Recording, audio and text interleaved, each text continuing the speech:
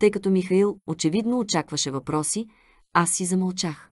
Платихме, уви, липсата на месо в менюто по никакъв начин не се отразяваше на цената и излязохме от ресторанта, като оставихме колата на паркинга. Поддадох се на един внезапен порив и позваних на Настя, но тя не вдигна. Изчаках от учтивост три сигнала и прибрах телефона. Михаил ме чакаше търпеливо. Изминахме квартал и половина по пречистенка. Свихме вдясно по Померанцев переулок. Продължихме към парка Тургенев. Разбирам, че нарочно не ме питаш нищо, каза Михаил. Това е начинът ти да протестираш срещу недомлъвките ми. Измърморих нещо неясно. Но и ти не ми казваш всичко. Окорително отбеляза Квазет Ито. Темата е много болезнена и неловка и за двама ни, но не мислиш ли, че найт? Не, отвърнах аз. Няма да си правя никакви изследвания. Той не е моят син и повече няма да засягаме тая тема. Много странно, каза Михаил. Но както искаш. Ти ще живееш с това. Къде отиваме? Попитах. На номер 3 от другата страна на парка. В Центъра за постмортална психология. Извърнах се към него. Но той беше напълно сериозен. Центърът за постмортална психология се оказа неголямо помещение на полусотеренния етаж на стара пететажна сграда. Спомних си, че някога тук имаше магазин, който се наричаше «Лавка на живота». Сега висеше строга черно-бяла табела ЦПП без разшифровка на абревиатурата. В това имаше някаква ирония. Смяташ, че като не рискува повече да се появи в църквата, Виктория ще се хвърли в обятията на психолозите. Попитах аз. Може и така да се каже, отвърна неясно Михаил. Влязохме в ЦПП. Помещението не беше голямо.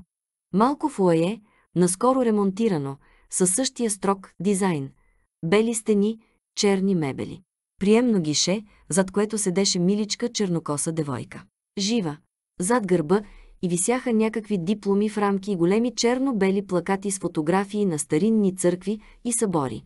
Под тавана беззвучно работеше телевизор, по който вървяха стари филми с Чарли Чаплин. Няколко врати водеха към други помещения.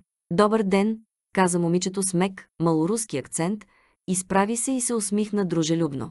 Баджът на блузката й, изпъната върху твърдите млади гърди, до толкова, колкото да примами погледа, съдържаше само едно име – Оксана. Вземете си анкета, попълнете, погледът изпря върху мен. Вие сигурно сте придружител? Да, съгласих се аз. Напоследък това ми е работата. За моя изненада Михаил си взе анкета. Седна на масата, свали си шапката, извади химикалка и започна да попълва листа с грижлив, четлив почерк. Хвърлих бегъл поглед, обичайните, еднакви за всички заведения анкети. Име, фамилия, година на раждане, местожителство, месторабота. Предвид спецификата, тук имаше и дата на смъртта, и дата на възвисяването. Напоследък се обсъждаше въпросът дали да не добавят тези точки във всички анкети и документи, с цел борба с дискриминацията на квазети тата. Но въпросът все се замотаваше някак в правителството и си оставаше там, където и законът за разрешаване на хомосексуалните бракове. Това е Русия, драги. Тук си имаме истинска демокрация. В смисъл, че се изпълнява волята на мнозинството. Може би и аз трябва да попълня анкета. Пошегувах се. Оксана се ококори. Да, но вие как? Тоест, може, разбира се, и на какъв ефект разчитате. Тя съвсем се смути. Представете си, че нищо не знам за вас. Отвърнах с усмивка аз. Разкажете ми за вашия център. Момичето се обърна към една от вратите. Очевидно размишляваше дали да не повика началството. Но аз се усмихвах. Бях облечен с цивилни дрехи и Оксана реши да се справи сама. Нашият център за постмортална психология предлага услуги за квазет и та, свързани с изучаването на дълбините на тяхната психика, измененията в сравнение с състоянието им при живе, издава препоръки за духовното развитие, извършва консултантски услуги по отделни въпроси, изрецитира тя. Много добре. Похвалих я. А по какъв начин? Работим по одобрена от Министерството на здравеопазването методика за психологически консултации с използването на разрешени медицински препарати от най-ново поколение. Продължи все така заучено Оксана. При думите медицински препарати в мен веднага звънна полицейската струна. При мен няма ли да подействат? Попитах с умолителна усмивка. Оксана прихна. Вие пък. Не и докато сте жив. Ето анкетата. Михаил подаде попълнените листи на Оксана. Тя бързо ги прегледа и попита. Искате ли да проведете първия сеанс още сега? Да. 1500 за първичен прием, 750 рубли за сеанс, каза Оксана. Другарят ви ще ви съпровожда ли? Да. Твърдо отсече Михаил. 250 за съпровождащото лице. Снимки и видеоклипове са разрешени срещу допълнително заплащане. Не е нужно, поклати глава Михаил. Готов съм. Оксана излезе иззад гишето. Онова, което се криеше зад него, се оказа също толкова привлекателно, колкото и достъпното за погледа до момента. Марина Абрамовна. Девойката почука и открехна вратата, към която беше погледнала преди. Пациент Михаил Иванович Бедренец. Първичен прием. Нека влезе, отвърна с груб глас Марина Абрамовна. За разлика от красавицата Оксана, шефът на Центъра за постмортална психология се оказа яка, набита, застаряваща и непривлекателна жена. Над горната и устна се забелязваха зле депилирани мустачки. В кабинета на Марина Абрамовна, въпреки работещия климатик, здраво миришеше на тютюн. А на масата предизвикателно стоеше небрежно покрит пепелник. Запознати ли сте с работата на нашия център?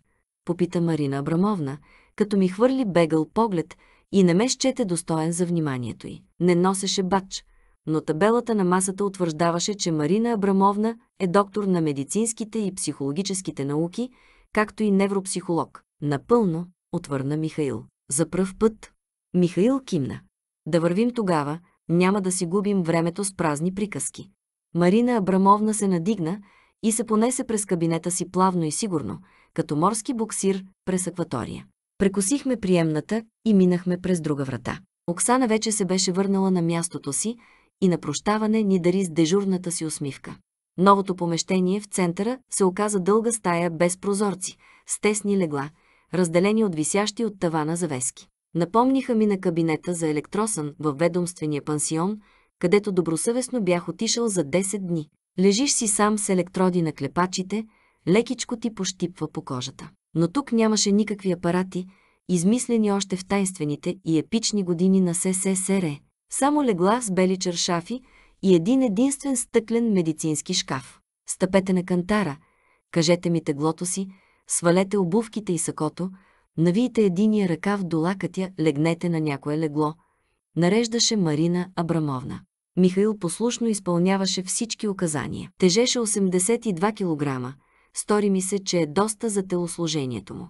Но квазет и тата са малко по-тежки от хората при еднакви габарити.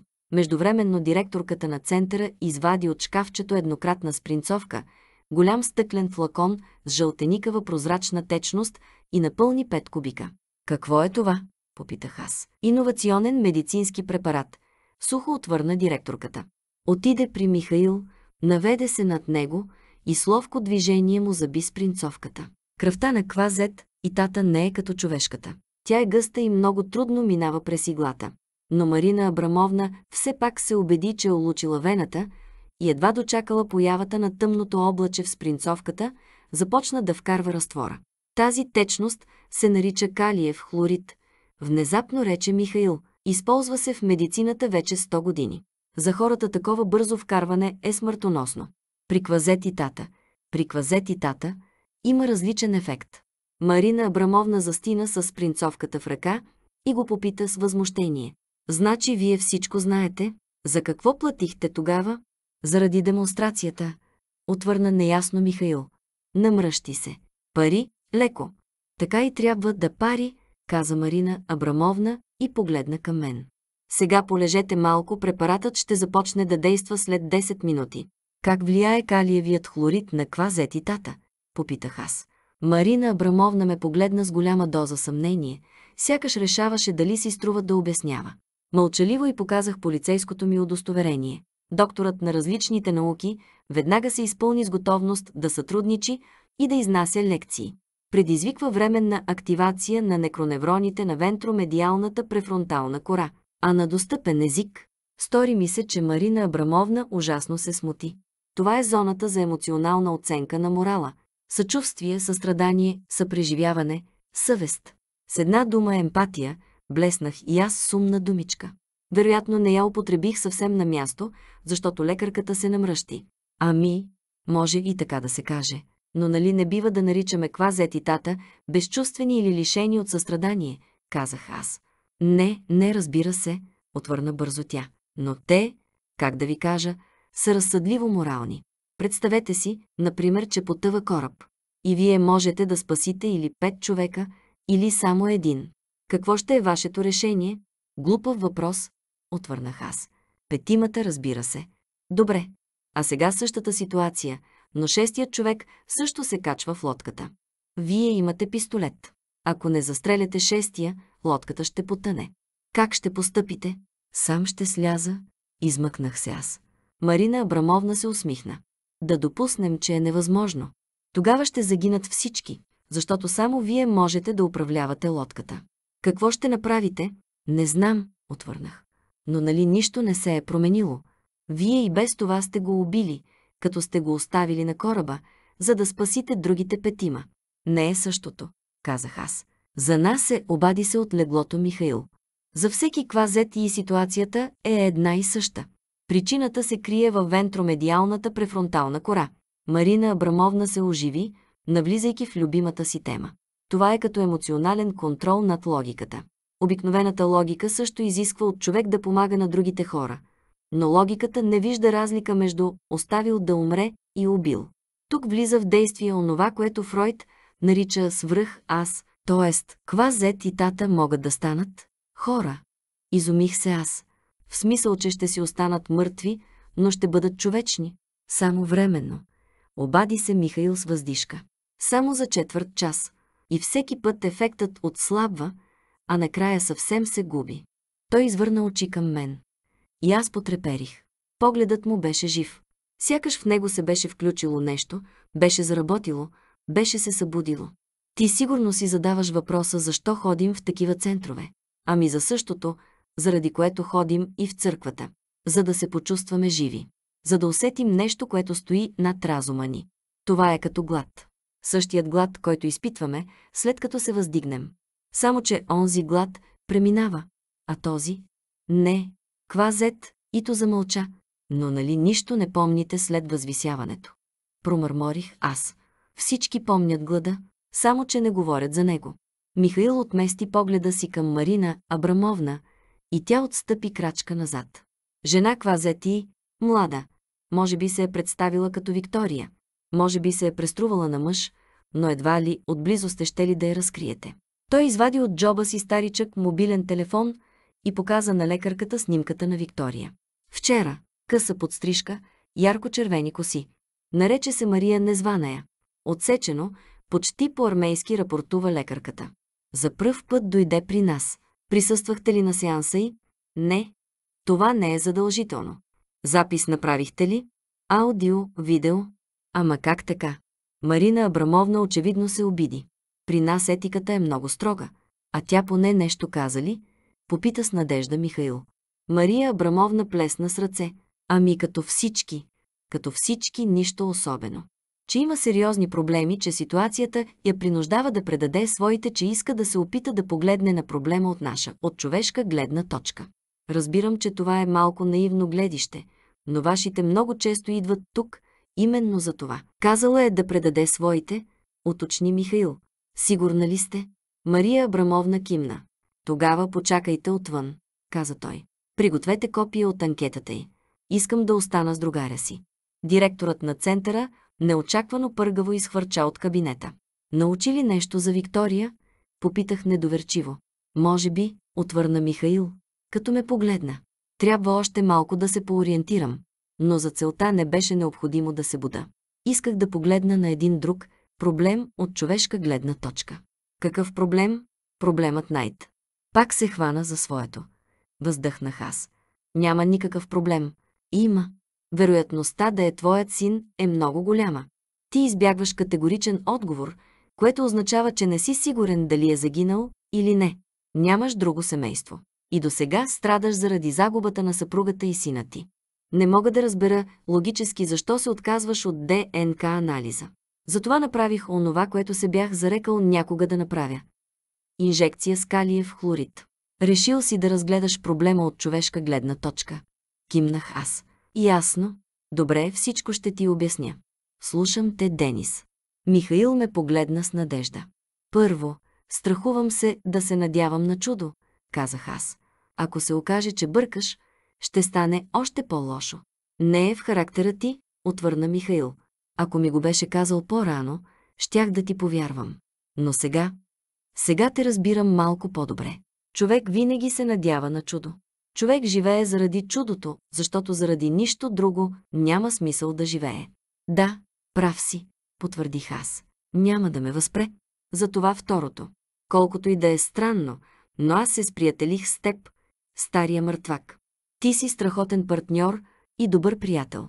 Възпитал си момчето като собствен син. И ако изведнъж се окаже, че аз съм баща му, това ще е ненужен на никого шок. Разбираш ли? Аз, Пупу, не страдам от импотентност. Ще имам още деца. А това е твоето дете. Благодаря, каза Михаил.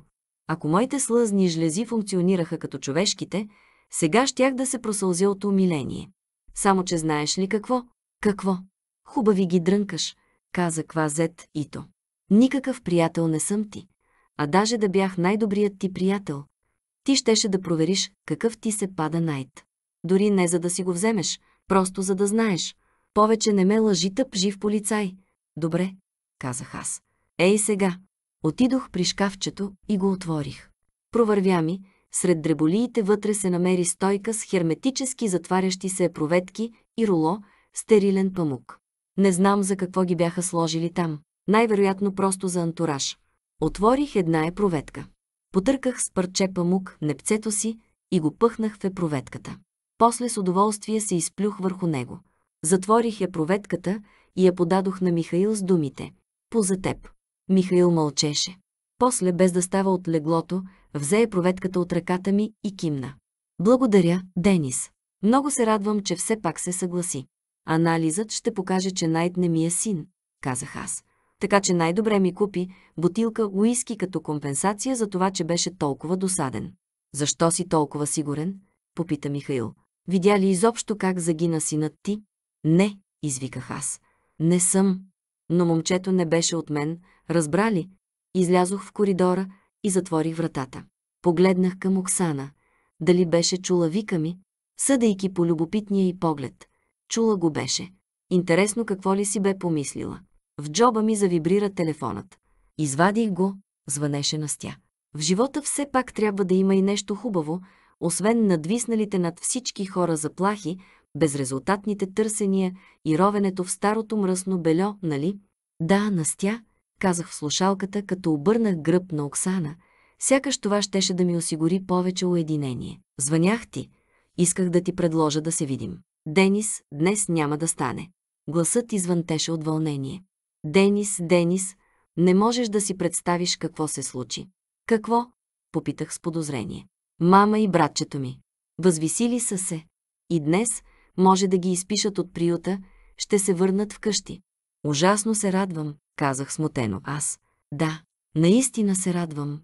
Денис, сега тичам в приюта, каза Настя. После ще се чуем, става ли? Утре. Бягам вече. Утре, става ли? Става, казах аз. Утре. Настя прекъсна връзката. Прибрах телефона и погледнах Оксана. Не върви ли? Не е точната дума, отвърнах аз. А вие какво ще правите до вечера? Ще варя борщ на мъжа ми, усмихна се Оксана. Върви им на някой. Въздъхнах аз. Кажете на спътника ми, че го чакам навън. Излязох от Центъра за постмортална психология и се огледах. Времето беше прекрасно, нещо рядко срещано в московските лета. В живота все пак трябва да има и нещо хубаво.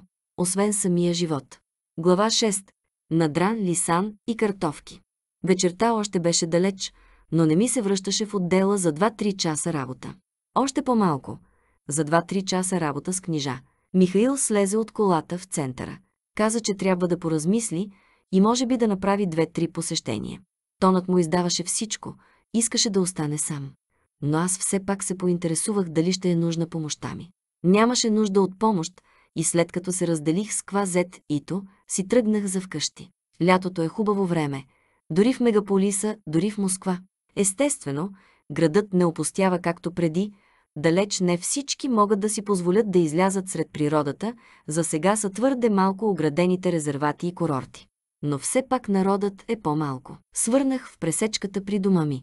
От другата страна на улицата към пешеходната пътека се приближаваше дете на 10 години. Дори не беше ясно дали е симпатично късо подстригано момиче или хубавко дългокосо момченце. Може би щях да успея да премина пръв, но спрях. Децата вечно се носят през пътя, без да гледат, някоя лодетина ще хукне твърде рязко. И един въздигнал се повече на света. Детето разбра, че го пропускам и претича през улицата, с подскоци, както умеят само децата. Изглежда все пак беше момче, когато преминаваше край колата, ми се усмихна и ми махна с ръка. Неволно се усмихнах в отговор. В момчето кипеше живот, млад, ликуващ, преливащ през ръба. То нямаше спокойния могъщ разсъдък на ква зет и техните изострени сетива, нямаше тяхната немислима издръжливост и съвършена регенерация. Но то беше живо, а ква зет и тата бяха мъртви. Клетият Найт, когато Михаил толкова настойчиво ми предлагаше за син, беше нещо средно между хората и квазет и тата. Бях сигурен, че няма да се затича така с подскоци през пътя, а ще спре и внимателно ще провери дали е безопасно. И няма да тръгне да се усмихва на непознатия шофьор, който го пропуска без особена нужда. Квазет и тата са го спасили, но са го направили подобен на тях. Отзад нетърпеливо забибиткаха. Усетих се, че все още стоя на завоя изяпам след непознатото момченце като някакъв извратеняк, а зад мен имаше вече две коли. Изругах през зъби и дадох газ. Едва стъпилата на пътеката жена за всеки случай отстъпи по-назад и извика нещо неодобрително подире ми. Все пак дори това не ми развали настроението. Сякаш смахването на ръката, момчето щедро беше споделило с мен своята жизнерадостност. Паркирах колата до входа и излязох, като продължавах да се усмихвам. Отворих кодовата ключалка и влязох във входа. Живея в малка сграда, стълбището е малко, няма портиер, просто няма място за него. Дори видеокамери няма във входа. Така че, когато ме хванаха отзад с ръка за шията и умело започнаха да ме душат, свидетели на моя позор нямаше. Захриптях в опит да си поема дъх и няколко пъти ударих с лакът назад, но ме държаха здраво, ловко, с нечовешка сила – Впрочем, след малко чуждата ръка леко отпусна хватката си и един женски глас прошепна в ухото ми. Сам ли сте, капитан Симонов? Въпросът, изглежда, беше риторичен, но аз предпочетох да отговоря. Да, това е добре, каза Виктория, а кой друг да бъде? Кажи, надран Лисан все още ли работи с теб? Кой? Изумих се аз. Бедренец, инспекторът на представителя. Ние му викаме надран Лисан. Кои ние? Разбирах, че случайно влязал в входа човек няма да ми помогне. Само друг, квазет и би могъл да се справи с Виктория в двубой. Но все пак печелех време. Ние, квазет и тата, отговори търпеливо Виктория. Виждам, че работи. Слушай ме внимателно, капитан Симонов. Слушай внимателно, разбери правилно и запомни задълго. Виж ти, първо изглежда, няма намерение да ме убива. И второ, тя е образована жена. Думите на Виктория са цитат от Бръмбър в мравуняка от братя Строгацки. Бел Прев. Слушам, разбирам, запомням, казах аз. Не вярвай на надран лисан. Не вярвай на квазет и. Нещата не са такива, каквито изглеждат. Добре, казах аз. Не ти вярвам. Правилно, потвърди Виктория. На мен също не вярвай.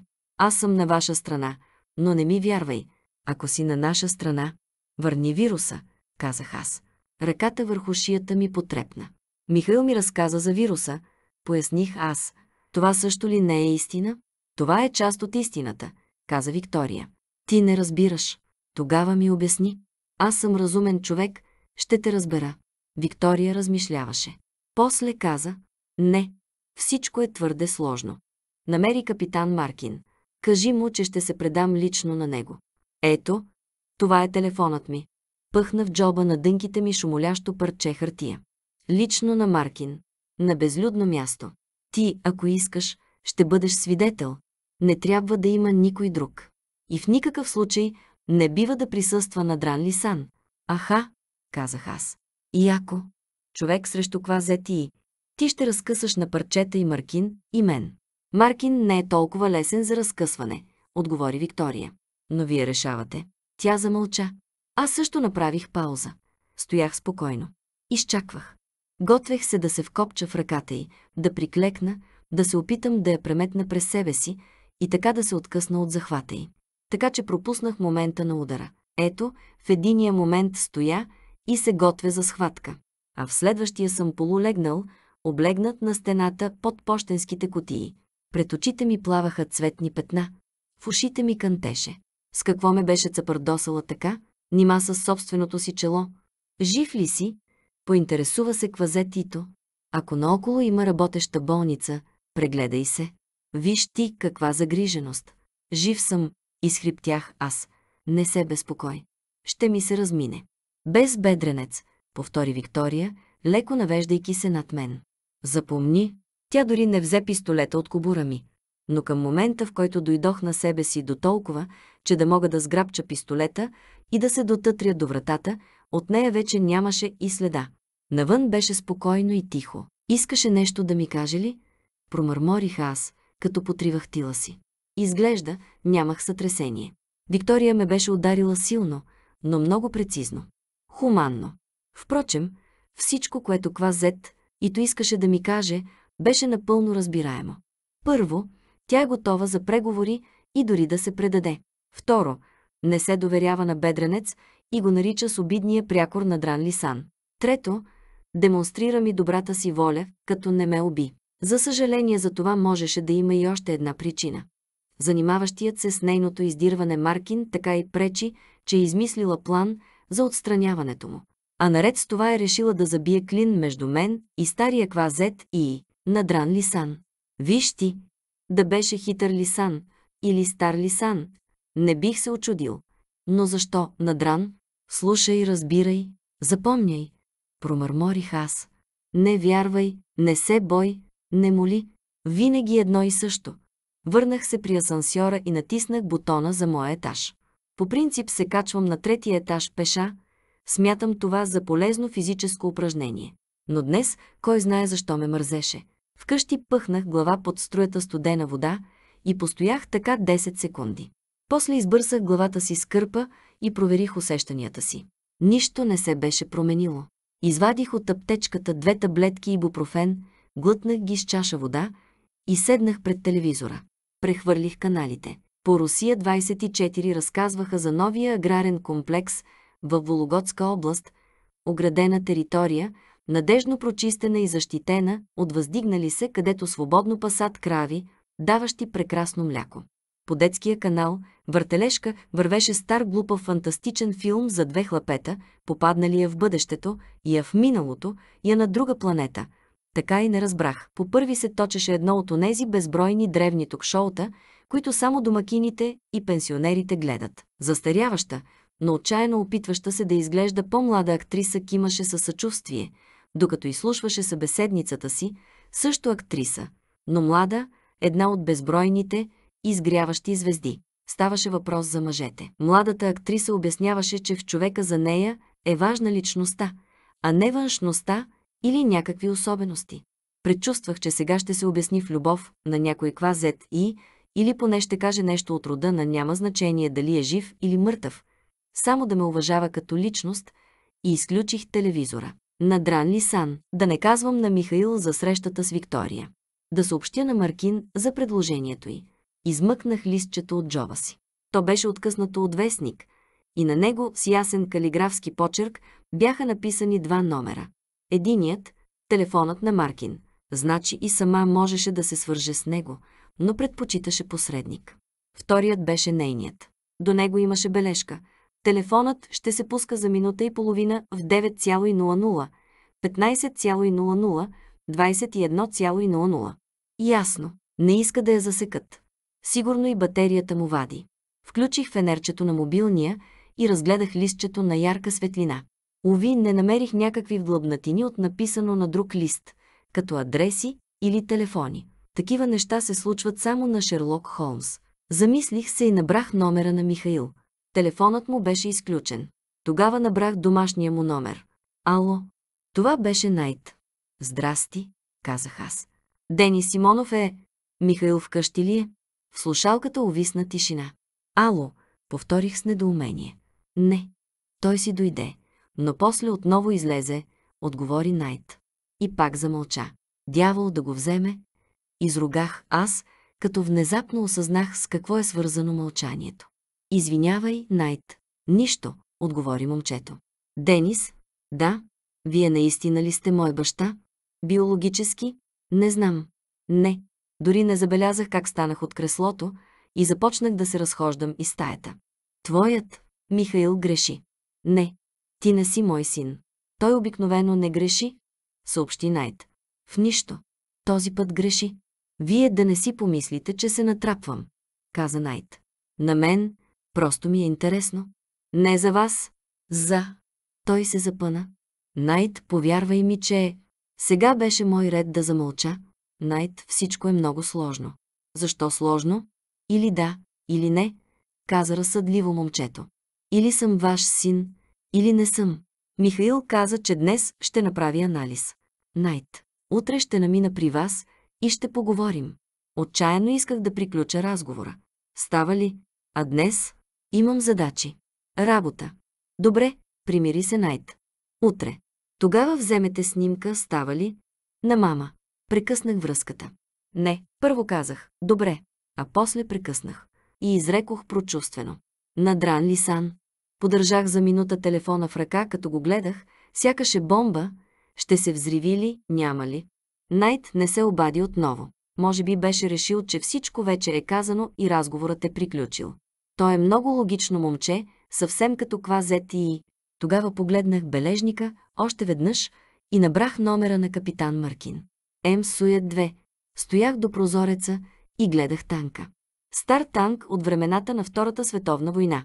Виж ти, не знаех, че в това селище има музей на легендарния Т-34. Честно казано, бих се радвал и да не го узная. Какво ни пречеше да го заобиколим? Те имат някакви проблясъци на разум. Казах. Може би колективен разум? Каштурката, в която се бяхме скрили, след като видяхме първите въздигнали се, беше точно до музея. Тук беше чисто и пусто. Нито хора, нито оръжия, нито дори храна. При тръгването си домакините бяха взели всичко. Къщата не можеше да послужи за сериозно укритие, но, изглежда, се бяхме скрили за известно време. Дори въздигналите се да ни усещаха, не можеха да ни локализират точно.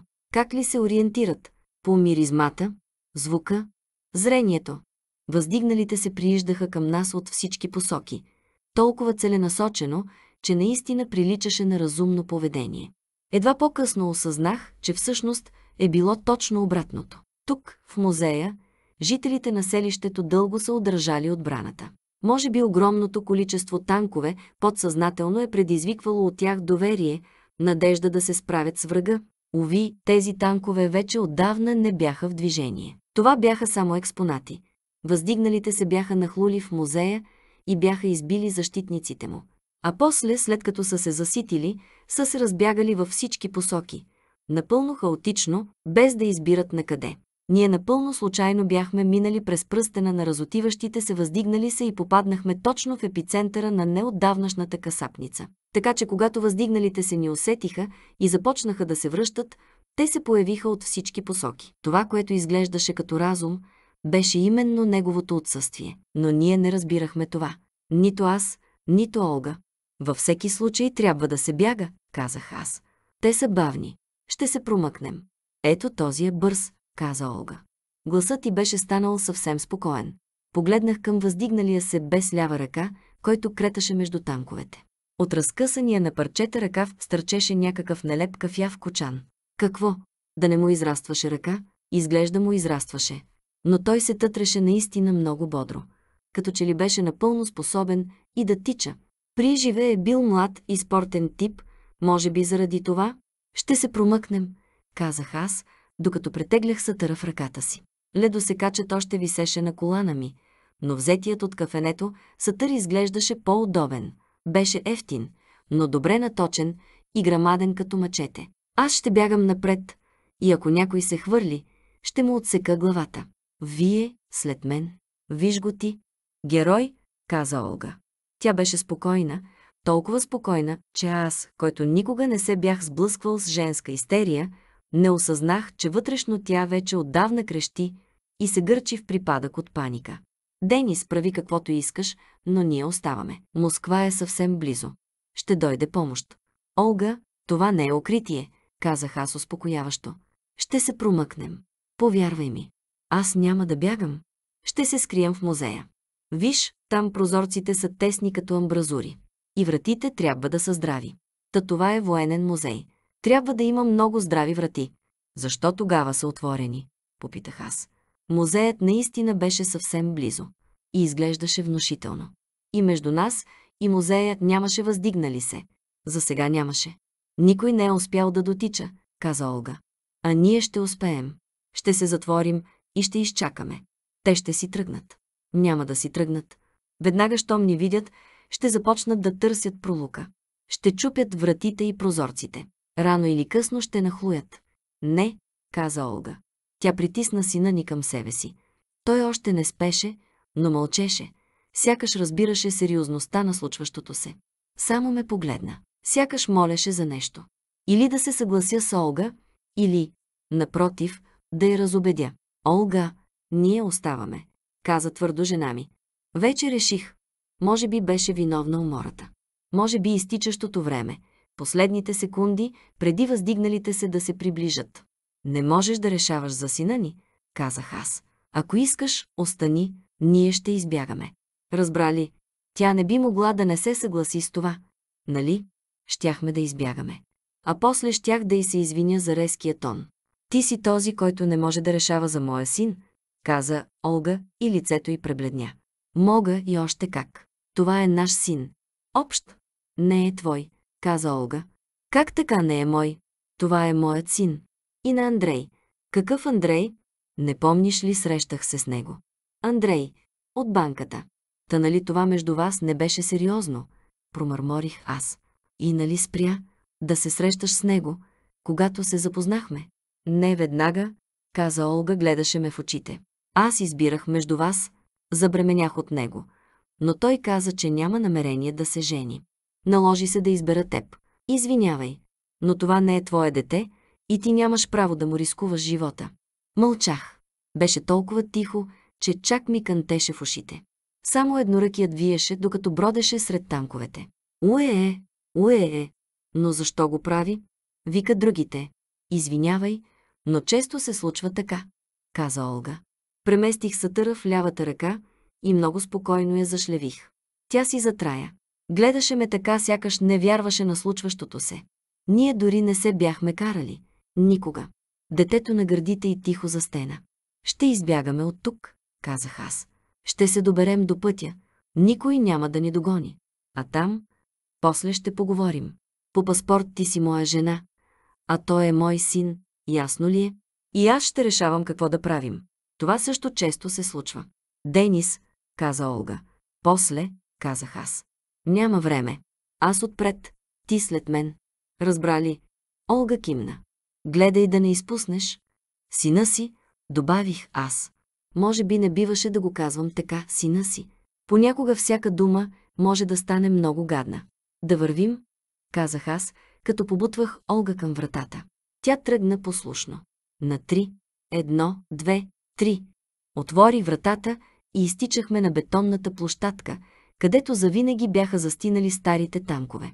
След мен, извиках аз и побягнах право към едноръкия въздигнал се. Той вече ни беше видял и тръгна бодро от насреща ни. Наистина много чевръсто, от такъв не можеш да избягаш пеша. С първия удар му отсякох оцелялата ръка. С втория, главата. Старият готварски сатър се оказа удивително удобен за сечене на гнило месо. Не изоставай, наредих на Олга и побягнах между танковете. Тя не изоставаше. Бягахме само от няколко секунди, а въздигналите се навсякъде променяха посоката и тръгваха към нас. Но когато пак се обърнах назад, вече по средата на пътя към автострадата, Олга тичаше в обратната посока, към музея. Олга, извиках аз. Стой! Назад! Олга! Но беше късно. Въздигалите се вече бяха зад гърба ми, между мен и жена ми. Около двайсетина. И отстрани пристигаха нови. Повечето. Бавни, но други подвижни като обезглавения от мен еднорък. Олга се обърна чак на вратата на музея. Погледна ме. Вдигна ръка, или за да се прости, или за да се извини. и хлопна тежката врата. Почти никой не тръгна към нея. Само двама-трима закоцукаха нататък. Навярно един истински герой в тази ситуация щеше да си пробие път към музея. Какво толкова? Десетина, двайсет въздигнали се. Да си пробия път. Да почукам. Да поговоря с жената, която току-що беше признала, че ме е предала. По пътя към автострадата имаше само двама въздигнали се. На единия му забих ледосекача в главата. Това нямаше да го убие окончателно, но той се завъртя на място. Хвана се за дръжката и се заопитва да извади оръжието, сякаш бе трънче. А втория просто го заобиколих. Нямаше време да замахвам с сатъра, отзад се приближаваха. В решетъчната ограда беше пробита дупка. Някой я беше взел на таран с колата си, докато е бягал от територията на музея. Изтичах на пътя, обърнах се. Почти всички въздигнали се ме следваха. Кои по-бавно, кои по-бързо. Поне щях да ги отведа далеч от Олга. Способни ли бяха да запомнят, че в музея е останала и друга плячка? Надявах се, че не. Лошото беше, че аз вече нямаше да забравя това, което бях чул. Капитан Маркин назначи срещата в сладоледена къща. Странно място за частен разговор между спецназовец и полицай, но може би точно в това беше смисълът. Вече се стъмваше и заведението беше пълно. Главно млади двойки, които си шепнеха за своите си неща, глупави и прекрасни. Срещаха се и по-възрастни хора, но това бяха предимно уморени майки или неделни татковци с децата си. Седяхме на открита тераска, изпълнена в моден ретро стил от края на 20 век. Разнокалибрени чадъри с марките на американски напитки, барман, облечен като баровец, с фалшива златна верига и малинов костюм. Сервитьорките също бяха облечени малко по-свободно, отколкото очакваш да видиш в такова заведение, твърде къси поли и предизвикателни цветни чорапогащи. Впрочем, човек можеше да си представи, че това е южно-крайморско кафене, там всичко е ярко. По телевизионните екрани беззвучно вървяха някакви шоута от онези времена, мяркаха се лицата на стари забравени водещи и певци. Носеше се тиха музика, също някаква стара песен. Не скривай музиката, тя е опиум. Единствено за нас, за никой друг. Нека тази вечер весело умрем, на декаденство да си поиграем. Ако щеш ме уби, ако щеш се уби, не можеш нищичко да промениш. Тази приказка край няма, не можеш нищичко да промениш. Песента е «Опиум» для никого на група Агата Кристи. Бел Прев. Имаше някаква ирония в това колко съвременно звучеше тази стара песен. Като си опитвах бавно с лъжичка ванилов сладолет, разказах на капитан Маркин за срещата с Виктория и му дадох листчето хартия. Маркин кимаше. Той едеше сладоледа си съсредоточено, сякаш изпълняваше много важна държавна задача. Навярно им е трудно в наши дни на бойците на невидимия фронт. Не можеш да внедриш агентура сред квазетитата, налага се да работиш дистанционно. Явно заради топлото време, Маркин беше със светъл ленен костюм. При неговата работа не може да се мине без сако. Трябва да скриеш някъде пистолета. Всичко разбирам, Денис, каза Маркин и облиза лъжичката.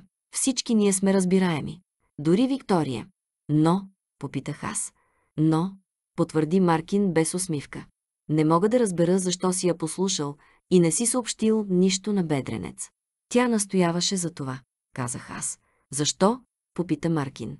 Погледът му беше много сериозен. Аз не обичам квазет и тата. Знам. Затова и говоря откровено с теб. Ти не обичаш квазет и тата, имаш всички основания за това.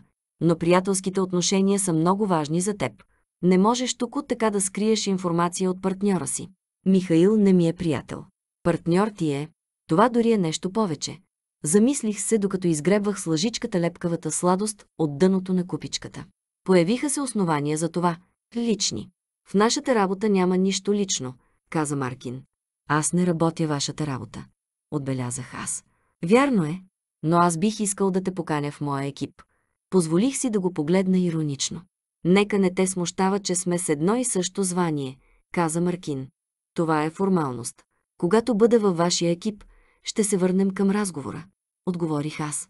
Добре, лесно се съгласи Маркин. Какво ти каза бедренец? Свих рамене. Разказа ли ти за вируса? Не взех да се правя на глупак. Да. Квазет и тата си имат дори екстремисти, които искат да унищожат хората. Възрастните хора. И да възпитават децата с представата, че квазет и тата са висша форма на съществуването. Да преформират човешката цивилизация по свой вкус. По свой вкус, усмихна се Маркин. Да, не е излъгал.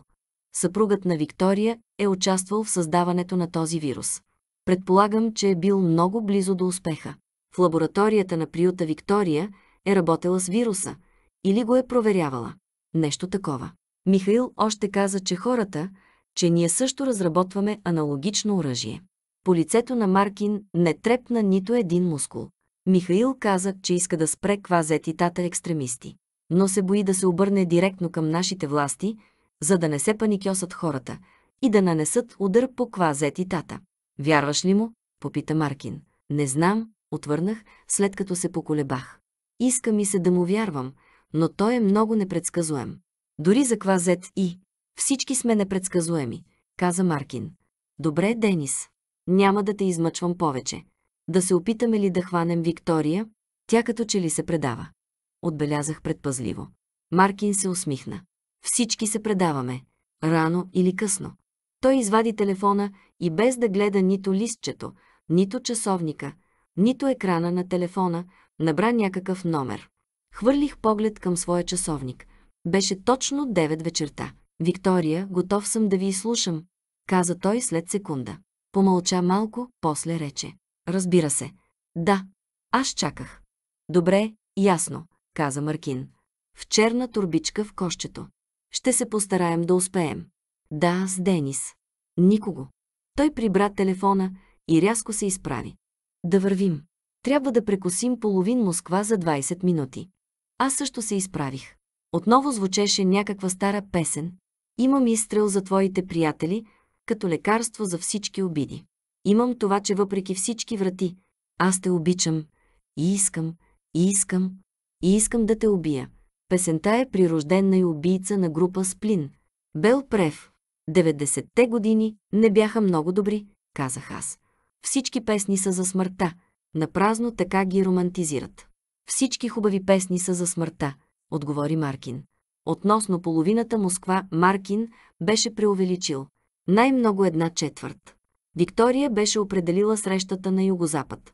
Общо взето, нищо неочаквано, все пак тук квазет и тата бяха най-много и бе най-лесно да се крие. Тя се беше презастраховала като шпионин в стар филм. Маркин трябваше да извади черна нейлонова турбичка от кошче близо до метростанция Проспект Вернацки. Явно вътре имаше инструкция какво ни очаква по-нататък.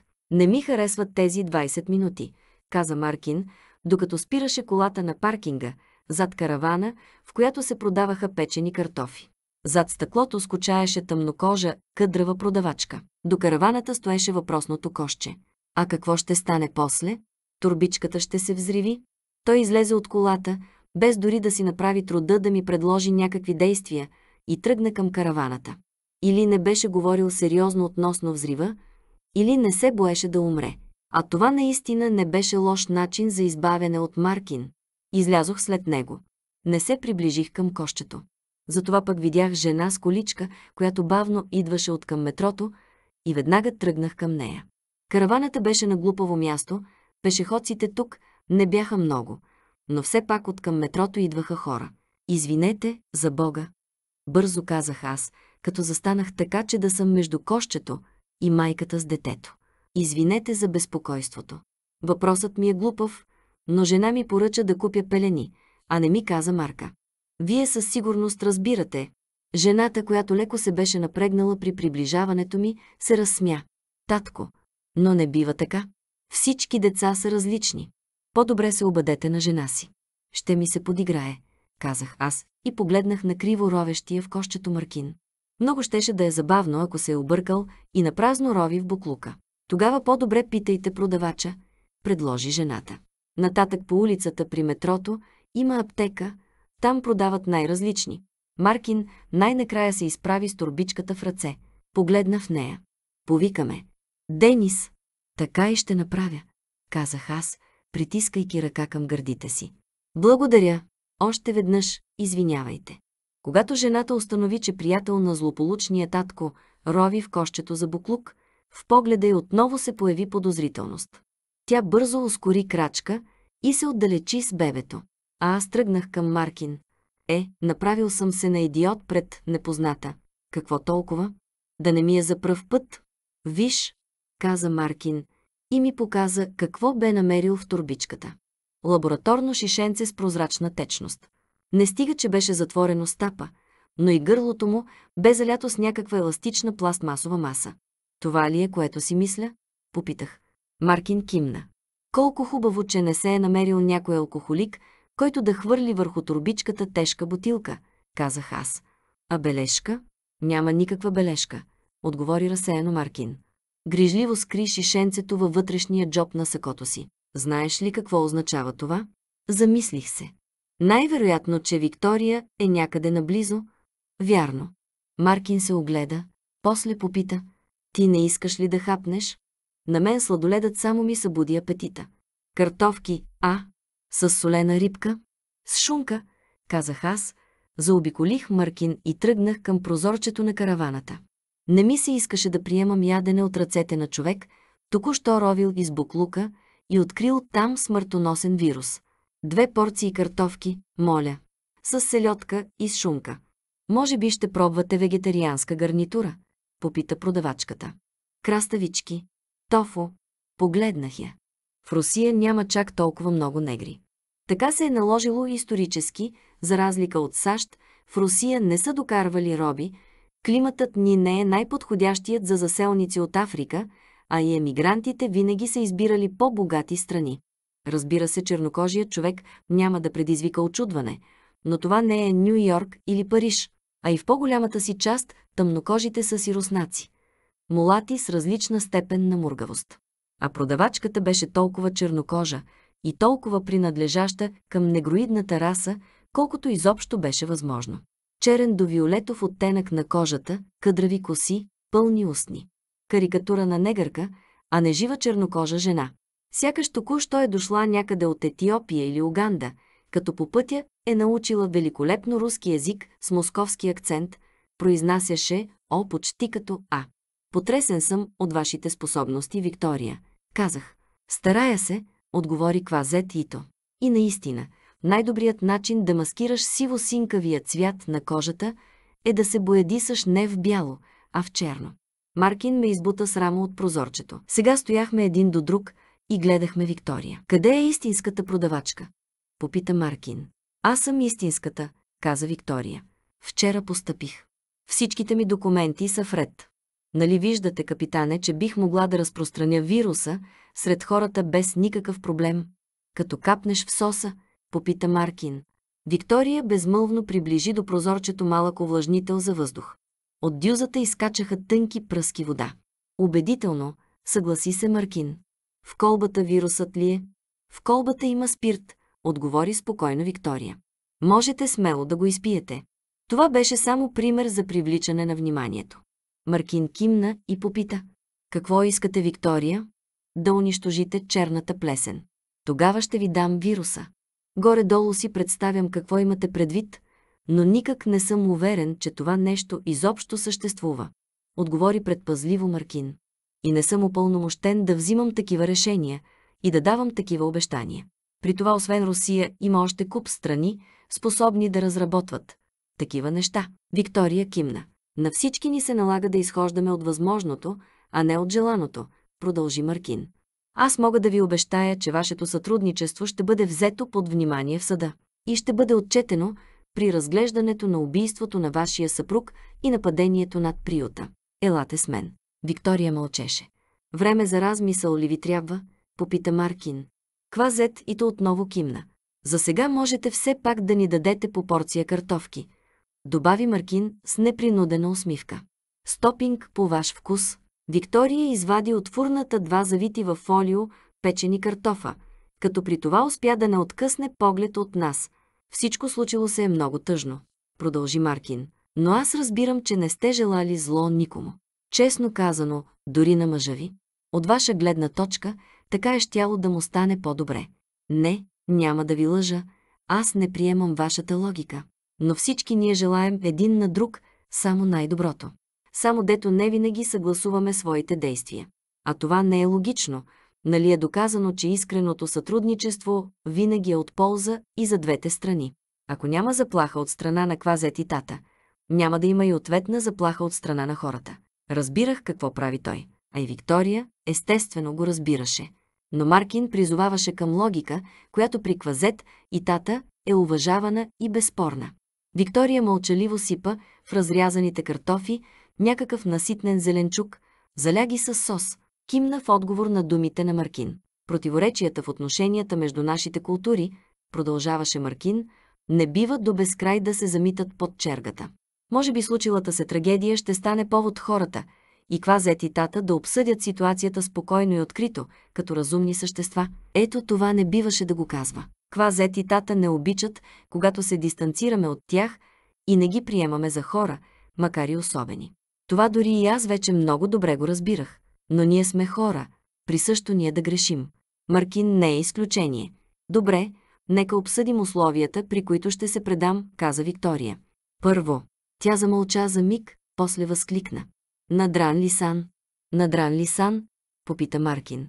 Но Виктория вече я нямаше в караваната. Тя изкочи през вратата, като в движение смъкваше бялата дантелена престилка. Аз се обърнах. Михаил Бедренец вървеше към нас от метрото. Изглежда, не беше успял да забележи Виктория, във всеки случай не ускори крачка. Алфа, гама, изрева Маркин, докато се хвърляше към храстите около караваната. Тя бяга, не тръгнах след него. По всичко личеше, че не е дошъл на срещата сам. Това, че не се беше свързал с никого, не означаваше нищо. Изглежда, в него имаше GPS и предавател, и всичките тези алфи, гами, вероятно и бети, а може би и още 20 и една гръцки букви са ни следвали и тихомълком са обкръжавали мястото на срещата. Какво става? Попита Михаил, докато се приближаваше към мен. Какво правиш тук? Задържане на Виктория, казах аз. Участвам. Позволи ми един въпрос. А ти какво правиш тук? Надявах се да поговоря с нея и ако разговорът не се получи, да я задържа, отговори спокойно Михаил. Жалко, че не ми каза своевременно какво става. Затова пък ти обичаш да казваш всичко своевременно. Промърморих аз. Ясно, кимна Михаил. Намръщи се. Така се получи. Що се отнася до задържането на Виктория, не исках да вземам на него живи. Можеше да чуя нещо, което не е предназначено за моите уши. Попитах аз, като едва се сдържах да не изрека въртящото се на езика ми обращение.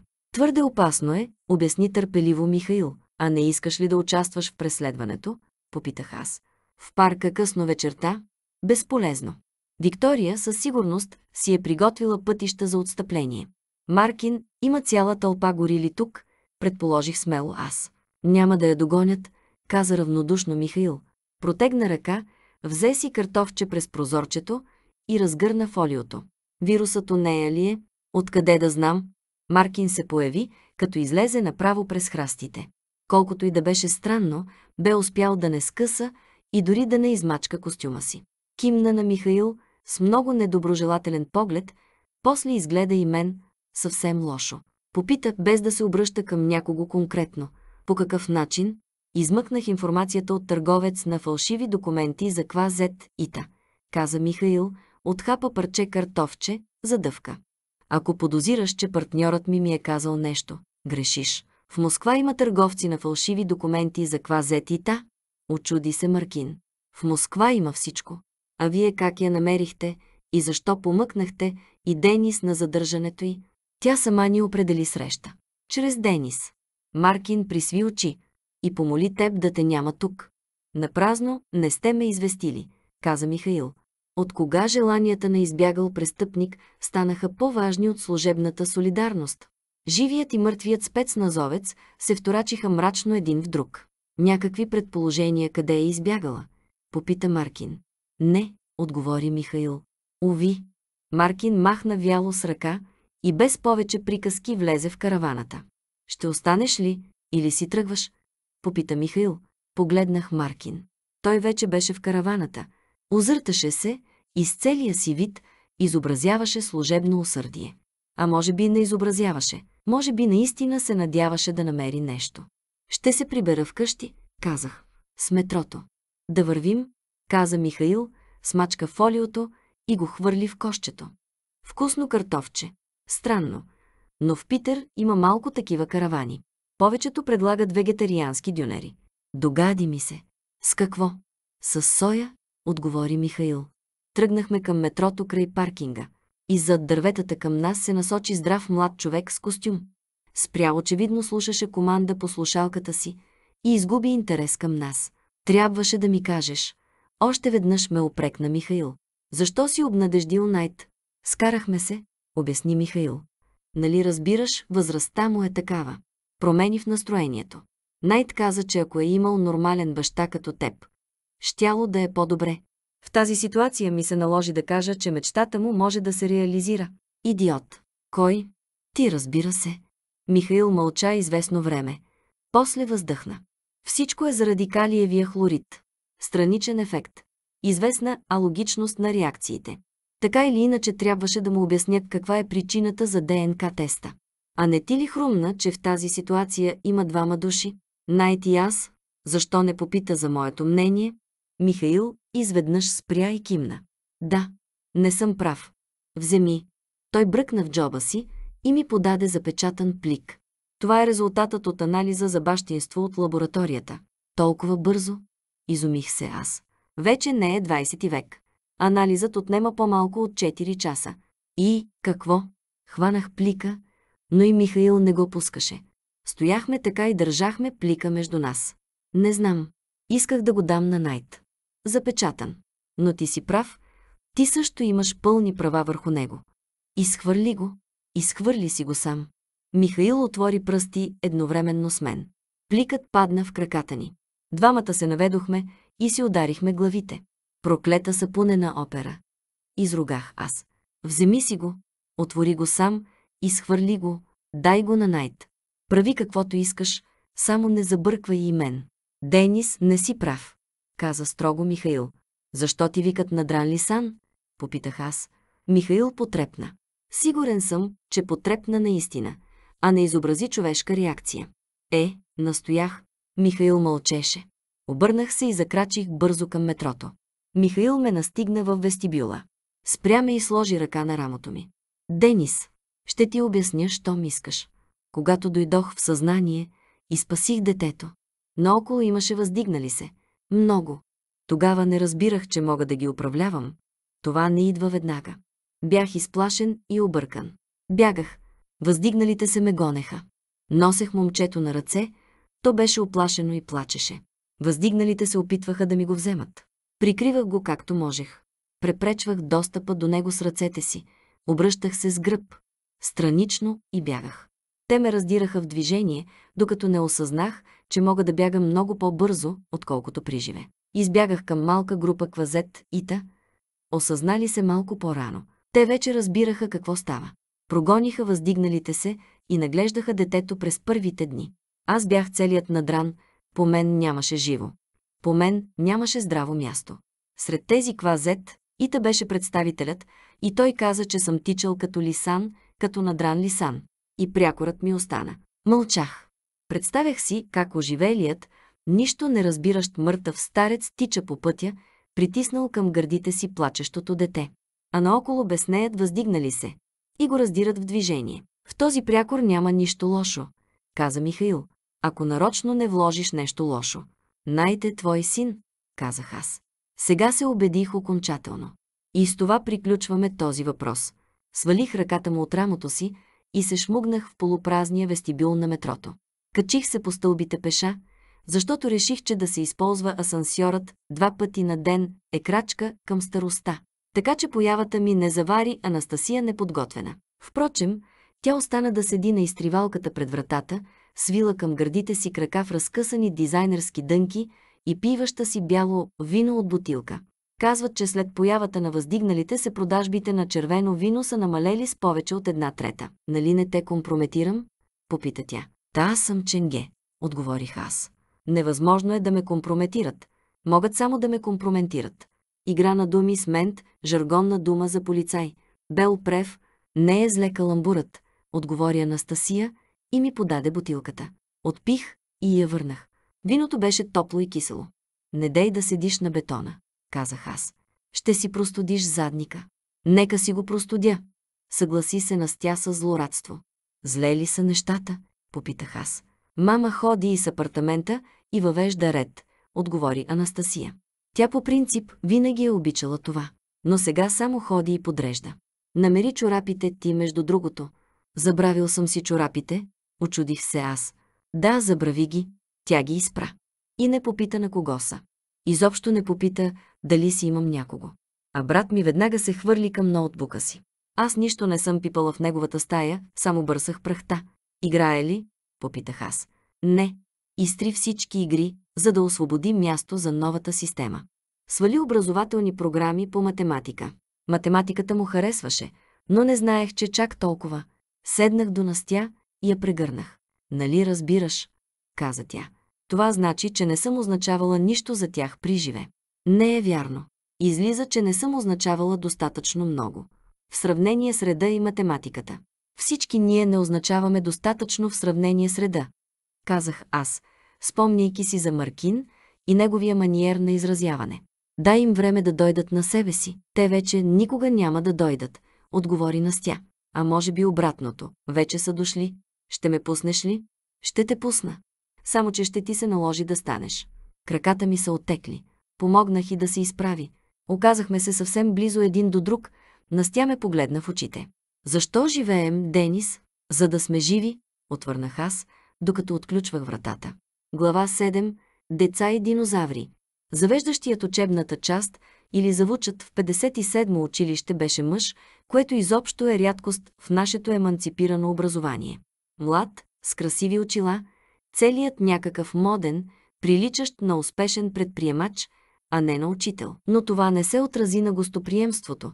На масата имаше самовар, станал безумно модерен през последните години, а купичките бяха пълни с бомбони, сладки, пасти. Нашето училище е много известно, много заслужило. Нареждаше завучат, докато с Михаил пиехме чай, с дълга и славна история. Нашето математическо образование е едно от най-добрите в страната, а всъщност и в света. Навярно тук учат и много деца квазет-ита, попитах аз. Квазет-ита. Погледът му се стрелна към Михаил. Не, не особено. За съжаление, децата квазет и та много рядко запазват интереса си към математиката. Но да не си помислите нещо, училището ни е нормално, сред учениците има квазет и та и отношенията в колектива са приятелски, без никакви ъ, предразсъдъци. Макар че, за съжаление, няма преподаватели квазет и та. Аз просто познавам едно момче квазет и, казах, брат на моя позната. След като се възвиси, се увлече по математиката. Може би, разбира се, разбира се, зарадва се завучат. Математиката е наука, в която квазет и тата през последните години заеха много, достойно място. Дайте на познатата си моята визитка. Той ми подаде картичката, после предпазливо попита. А вие и двамата ли ще говорите? Обикновено идва един специалист. Може и двамата, казах аз. Такъв е експериментът. Ще спомогне за по-доброто освояване на материала. Аз мога да поседя тук, каза Михаил. По принцип ние имаме и друга работа. Дойдох с Денис просто за компания. Не, не, каза бързо завучат. Това е много правилно, много хубаво. Говорете и двамата. Изнасяли ли сте друг път лекции пред деца? Случвало се едва-три пъти. Признах аз. При нас са малки класове, от първи до четвърти.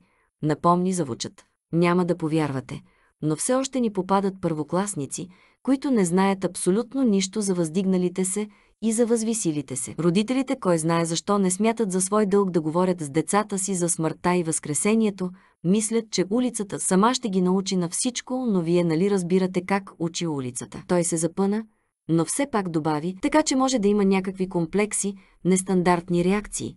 Вие не се обиждайте, ако нещо. Аз изобщо от нищо не се обиждам. Фактовата зала шумяха, бърбореха и се въртяха на седалките 50 ученици от малките класове.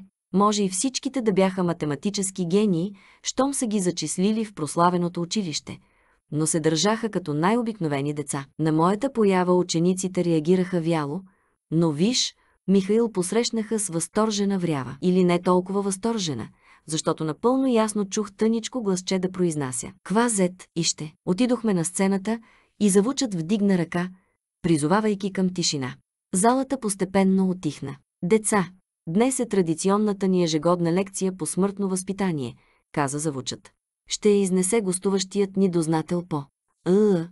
Смъртни случаи Денис Симонов и неговият колега, полицаят Квазет и Михаил. Ъ. Бедренец. Темата е много важна, много деликатна.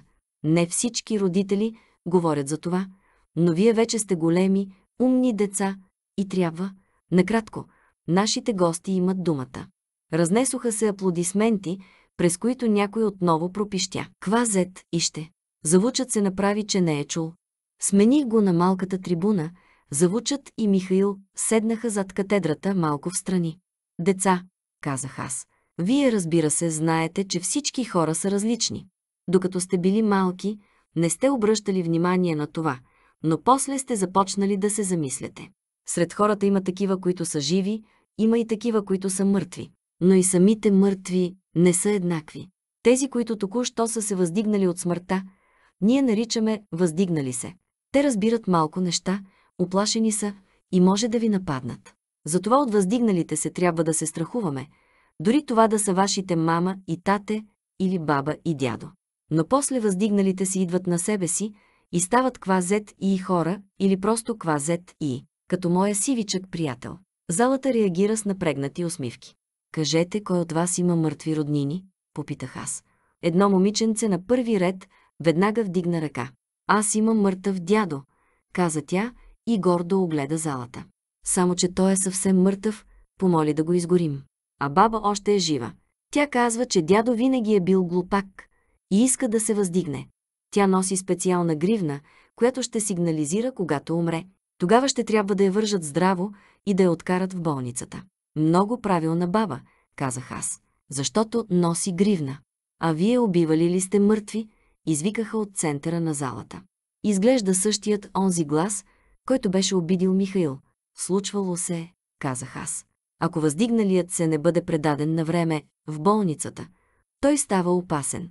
Понякога, за съжаление, се налага да бъде убит съвсем. Отсича му се главата, продължаваше разпитът детето. Сега го разгледах пълничък, наглеещ млад човек на 8 години. Вярно е, казах аз. А тече ли кръв? Малко. Намръщих се. Трябваше да се измъкна от ситуацията. А ти имаш ли мъртви роднини? Да, отговори момчето. Мама я сгази кола, тя сега е в резерват. И добави вече явно обръщайки се към момичето. Мъртваците не ги откарват в болница, те нали не боледуват. Тя ги прогонват от града и те там ходят и нападат всички. Уу, размаха ръцете си със свити пръсти. Ами ето, побързах да кажа аз, когато смехът отихна. Посмяхме се малко, а сега да си поговорим за най-важното. Какво трябва да направим, когато срещнем въздигнал се, трябва да бягаме, заяви твърдо досадното хлапе. Бързо и надалеч, а после да се обадим в полицията. Или просто да кажем на възрастните. Точно така, казах аз. Никога не се опитвайте да разговаряте с въздигналите се, не им позволявайте да ви докосват и изобщо да се приближават. Дори и да видите, че въздигналият се е хванал любимото ви кученце или зайче, трябва бързо-бързо да избягате. Залата потъна в мълчание, осмисляйки този ужас. Котре в ръцете на въздигнал се. А котенце? Попита момчето и мръсно се усмихна. С тъга си помислих за класическите английски училища, където са се използвали телесните наказания. Още повече пък котенце, казах аз. Въздигналите се не ядат котки. Неочаквано Михаил се изправи и се приближи към мен. Това не е точно така, Денис, каза той. Въздигналите се ядат котки. Само, че им е много по-трудно да ги хванат. А вие яли ли сте котки, когато сте били мъртъв? Попита момчето. Напълно е възможно, каза спокойно Михаил. Въздигналите се ядат всякаква жива органика. Насекоми, червеи, мишки. Но разбира се, охранените момченца са им най-вкусни. Така че те съветвам при среща с въздигнали се да не се правиш на толкова остроумен. Дори и съседката по чин да те гледа с възхищение. Момчето стана ярко червено и побърза да седне. Всъщност, продължи Михаил, смъртта винаги е вълнувала хората. Вълнувала ги е и ги е плашала. Хората са гадаели.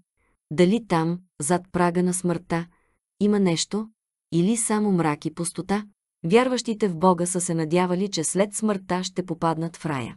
Или отново ще се родят като други хора, освен онези, естествено, които се държат лошо. А пък те ще се родят като кученца, котета или дъждовни червей. Залата весело зашумя. Всички ли са гледали анимационното филмче за Питър Пан? Попита Михаил, без да губи инициативата. Нали помните, там Питър Пан, когато страшният капитан Хук иска да го убие, казва Смъртта е още едно голямо приключение. Това не е в анимационното, това е в кинофилма. Извика някой. А също и в книжката. Незабавно го поправиха. Та така, сега смъртта наистина стана голямо приключение, продължи Михаил. След нея хората стават квазет, ита и продължават да съществуват. Но това нали не е живот? Изведнъж попита много сериозно някакво момиче. Тихомълком се отдръпнах от трибуната, освобождавайки мястото на Михаил. Не, това е друго. Ако се разглеждат нашите клетки от гледна точка на биологията, те са мъртви. В тях не се извършват процесите, които протичат при обикновените живи същества. Нещо повече, ако във вашия организъм всички клетки са различни. Има клетки на кожата, мускулни клетки, нервни клетки, полови. Строго добави момичето, попитало за живота, и гордо огледа залата. И такива също, кимна Михаил. Сега ще стигнем и до тях. Та така, при нас всички клетки са еднакви. Те, разбира се, се специализират в това да вършат една или друга работа, но лесно могат да заемат и друго място. Затова ние толкова лесно се възстановяваме след нараняване, регенерираме. Но за това и няма да имаме деца, защото нямаме специалните клетки. Затова човек е длъжен да живее нормален, хубав живот. Да расте, да се влюбва, да ражда деца и да ги отглежда. А после, след смъртта, може да стане квазети.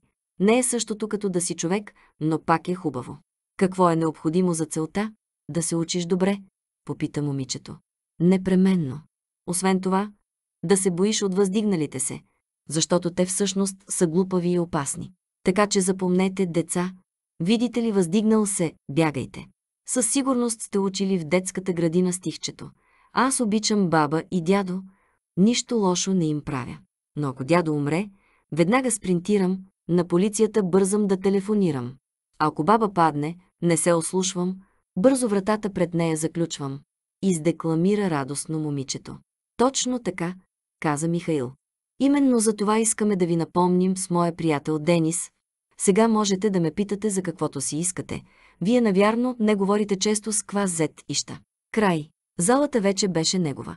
Когато излязохме от двора на училището, не издържах и казах, Михаиле, не съм подозирал, че имаш такъв талант да общуваш с детска аудитория. Та на тях, ако им подадеш пръст, ще ти отхапят ръката до лакътя. Той ме погледна накриво. Образно казано, добавих аз. Имаме си специална методика, поясни Михаил. Как да говорим за въздигналите се и квазет, и с деца до 5 години, до 9, до 15. Как да говорим с възрастни мъже? Как да говорим с възрастни жени? С старци? С старици? Разбира се. Какви сте предвидливи, казах аз. Да, и се гордеем с това. А това от методиката, как да говорим с хора, които не обичат квазет и тата Алие, попитах аз. Михаил кимна. Точно така. Нали ти казвам, ти си добър полицай. Напразно висиш на тази техническа работа. А къде другаде мога безнаказано да сека главите на въздигналите се? Промърморих аз, докато вървях към колата. Ти по-добре кажи, синът ти успокои ли се? Защо трябва да се успокоява? Попита предпазливо Михаил. Той не е бил развълнуван. Ами след като не казваш нищо за резултатите от теста, значи сте се убедили, че нямам никаква кръвна връзка с Найт. Михаил спря и ме погледна с недоумение. Как мога да говоря за резултатите от теста, ако пликът е в твоя джоб? В моя? Вчера сложих плика в джоба на твоето сако, поясни Михаил. Докато спорехме. Джепчия, казах с възхищение. Точно обратното. В него е истински склад, планина от хартия. Мръсни носни кърпички, вероятно, отвърнах. Колко жалко, че сега не съм с униформата. Не мога да ти върна плика веднага. Но ще ти го върна, не се съмнявай. Михаил само въздъхна. Отвори колата и седна зад волана. Да тръгваме, капитане. Къде? Да търсим Виктория, разбира се. Седнах до него. Вие двамата с господин Маркин. Здравата ми объркахте работата. Църквата на Квазет и тата не ни помогна. нито пък психолозите. Наложи се да вляза в пряк контакт с престъпни елементи, при това и да гарантирам тяхната безопасност. Знаеш ли колко е неприятно това, а при живе не ти ли се е налагало да правиш компромиси? И сумтях аз. Не фарисействай. Работата ни е такава, че за да хванем едрите риби, пускаме дребните. И какво значи вашите порядъчни квазет и да стават престъпници? Ние сме същите като в живота, само че по-упорити, отговори спокойно Михаил. Ако на някого в човешкия му живот не му е пукало за закона, мамил е и е шмекерувал. Той след смъртта си ще бъде мошеник. Но ще ти кажа честно, Денис, в безисходица съм. Изчерпах всички достъпни ми варианти. Тогава къде смяташ да отидеш? Надявах се ти да ми кажеш, обясни Михаил. Командвай, ти може да виждаш нещо, което аз съм пропуснал. Квазе ти, промърморих аз. Чакай, взех таблета, отворих информацията по делото и започнах да се ровя в базите данни. Роднини, попита с любопитство Михаил. Не, не. На Виктория почти не са и останали роднини сред живите или квазет и тата. Само далечни. Но те също са проверени и предупредени. Както и бившите приятели. Роднините, това е добре, казах аз. И приятелите. Но повярвай ми, понякога чуждите хора са много по-близки. Така, давай на профсъюзна, нещо много зачестихме на югозапад. И къде по-конкретно? Попита Михаил, докато палеше колата. Институтът по палеонтология. Михаил се намръщи. Кимна неохотно. Да, помня. Тя работила там, при живе. За кратко. Няма значение. Това е било в младостта й. Ентусиазъм. Първи научни трудове. Защита на дисертация. Не я е защитила. Да, не е успяла, умряла е. Но аз проверих. Научният и ръководител още работи там. Как казваха класиците, животът дава на човек три радости – семейство, приятели и работа. Виктория вече няма семейство. Приятели също всъщност. Остава работата. Все пак, Институтът по палеонтология е научно учреждение. Там има някаква техническа база, ако тя има нужда да продължи работата с вирусния препарат. А и там е по-лесно да се укрие. И откъде на къде нейният не състоял се. Михаил подчерта тази дума. Научен ръководител ще тръгне да помага на бившата си аспирантка. При това толкова необичайна. Цитат от стъжанти на братя Строгацки. Бел Прев. Той самият е квазетище, казах аз. Михаил безмълвно изкара колата от паркинга. М. Сует 2. Нахлух в кабинета шумно, като предизвикателно треснах вратата. Но после внимателно я затворих след себе си, което боя се, развали впечатлението. И направо от прага казах. Аз не съм заварчик. Белокосият, макар и още не възрастен човек зад бюрото вдигна глава. И каза. Аз също не съм технически ръководител на строежи. Икономист съм. Занимавах се с международни финансови деривати. Но се налага. Но аз, ако ще да си флейтист, на нас са ни нужни заварчици. Трябват ни още дърводелци да правят кофража. Много са ни нужни строители, всякакъв профил. Жена ми и детето ми останаха зад МКАТ, казах аз. Сложете ме в отряд, който отива натам. Отрядите отиват в строителните хипермаркети. Докарват техника. Умееш ли да управляваш булдозер? Или тежко товарен камион? Погледнах с омраза началника на седми сектор от отбраната на Москва, в чийто кабинет толкова безцеремонно бях нахлул. Вие какво не чувате ли? Жена ми и детето ми останаха там. Провървяло тие, каза белокосият, а моите загинаха. Сепнах се. Помълчах и казах. Умея да убивам въздигнали се. Всички, които сме оцелели, умеем, каза събеседникът ми. Аз сам отсякох главата на жена си, когато тя се въздигна. Къде са твоите, младежо? В Шолохово. Едно такова селище. Там има танков музей. Съвсем близо е. Белокосият кимна. Знам го. Там сега има вълна от въздигнали се от Думна и Дмитров. В близките дни нямаме път в тази посока. Трябва да се закрепим в града. Военните обещаха после да ни дадат конвой. Аз ще отида сам, казах. Белокосият свира мене. Какво мога да направя? Иди. Жалко, че ще загинеш ужасно и безсмислено. А би могъл да помогнеш да спасим града, в който има милиони жени и деца. Но това си е твое право. Те се барикадираха в музея. Казах аз, като седнах пред него. Разбирате ли? Ще издържат там. Известно време. Но трябва да бъдат спасени. Нали ако някой може да бъде спасен, трябва да се спаси. Погледът му омекна. Изведнъж осъзнах, че изобщо не е стар. Е на 40. Може би 45. Просто съвсем побелял. Щом си се добрал до мен и секретарката все още не те е хванала за врата и не те е изхвърлила, значи си опорит младеж, каза той. Обещавам ти, след три дни ще има отряд за Думна. Ще те включа в състава и ще ги помоля да минат през Шолохово. Още повече, музей на танковете, току виж нещо е в движение, а сега тръгвай. Ще поработиш като заварчик. Ако не се получи, ще бъркаш бетон. Кимнах. Странно, че Людмила Йосифовна все още не те е изхвърлила от кабинета, добави той, като погледна на криво вратата. Изправих се. Добре, аз тръгвам. Само да не забравите. Включете ме в конвоя. Няма да забравя. Ще те включа. Тогава отивам да развържа Людмила Йосифовна, казах аз. Академикът, професорът, докторът на науките, авторът на три монографии, няколко стотин публикации и признат от цялото научно общество за водещ в света специалист по изкопаеми штурци, Александър Павлович Полосков отсъстваше от работното си място. Сегашният му аспирант, който изглеждаше като истински млад, учен от холивудски филм, смръщи чело, намести очилата си, приглади разчорлените си коси и съобщи, че Алпалич е в музея, провежда екскурзия. Професорът сам провежда екскурзия. Изумих се аз. Сигурно са дошли някакви световни светила в областта на изкопаемите штурци. Не, не, аспирантът се намръщи с досада. Обикновена групова екскурзия. Нали разбирате, бюджетът не ни е много голям, заплатите също. А посетителите са си живи пари. Всеки може да разкаже за мамутите или диплодоците. Всички доработваме. А вие също ли сте по штурците? Попитах аз. Младежът се разсмя. Какви ги говорите? След Алпалич в палеонтологията с грилосите, т.е. с штурците, няма какво повече да се направи. А и в сегашното си състояние той може да се занимава вечно с това. Защо някой да пречи на истинския специалист? Аз съм по морските протисти от фанерозоя, предимно по остракодите и конодонтите.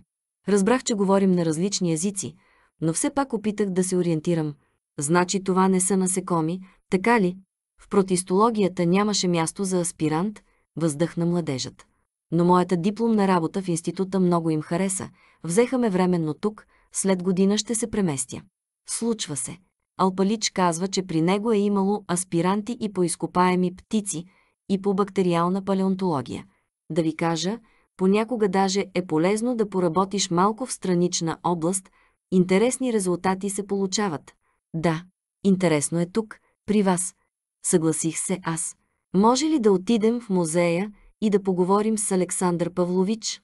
Само не пречете на екскурзията, помоли младият специалист по фанерозоя.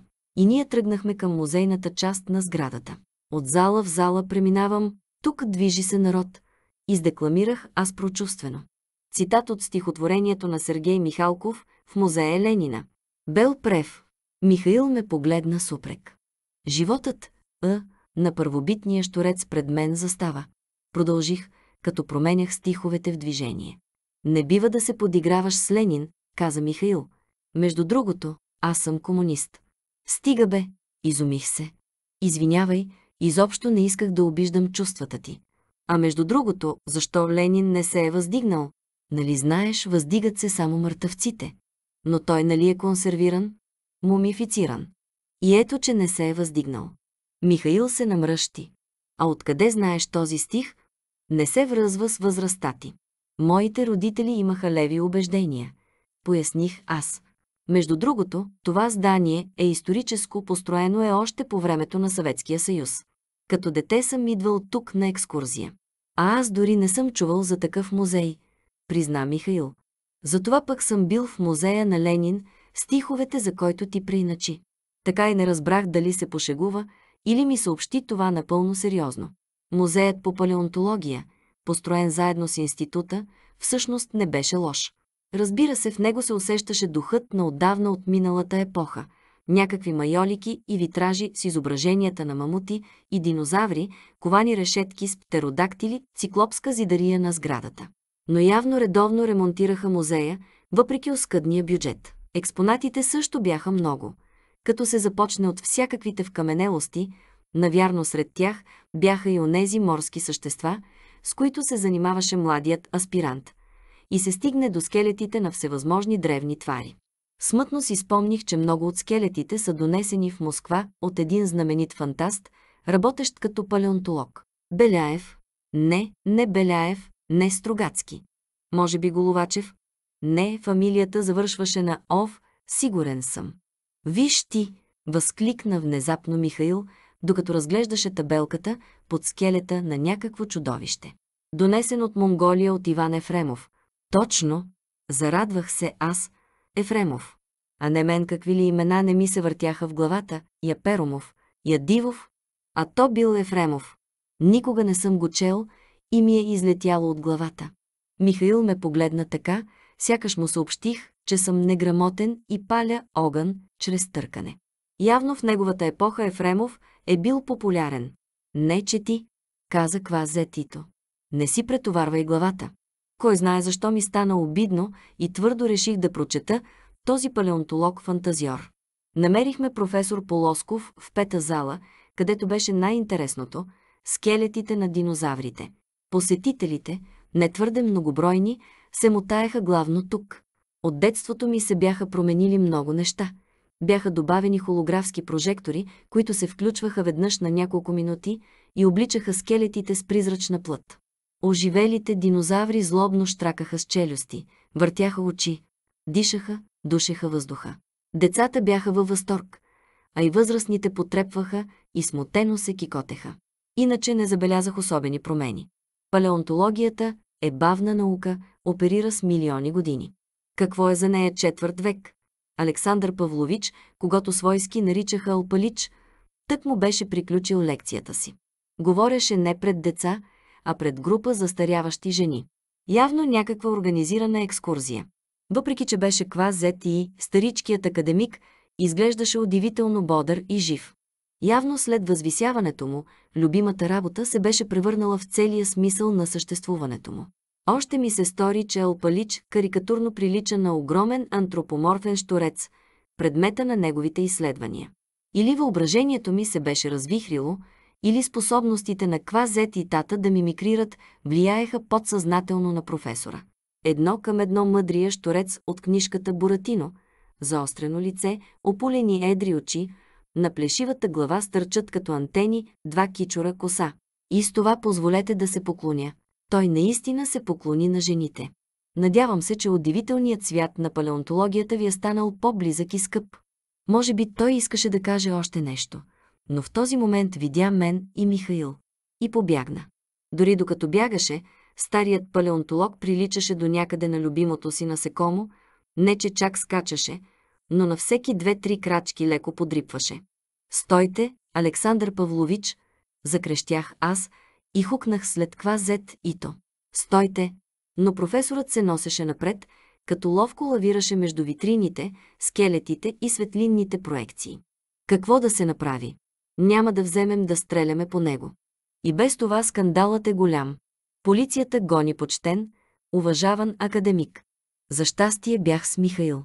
Както се казва, ако искаш да хванеш квазет и, вземи със себе си друго квазет и.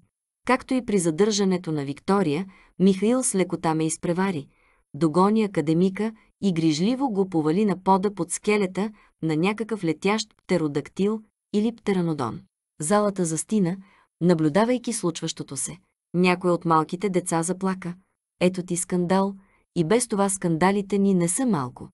Професоре, изкрещях аз през цялата зала. Извинявайте, но няма да успеете отново да се откажете от връчването на държавна награда.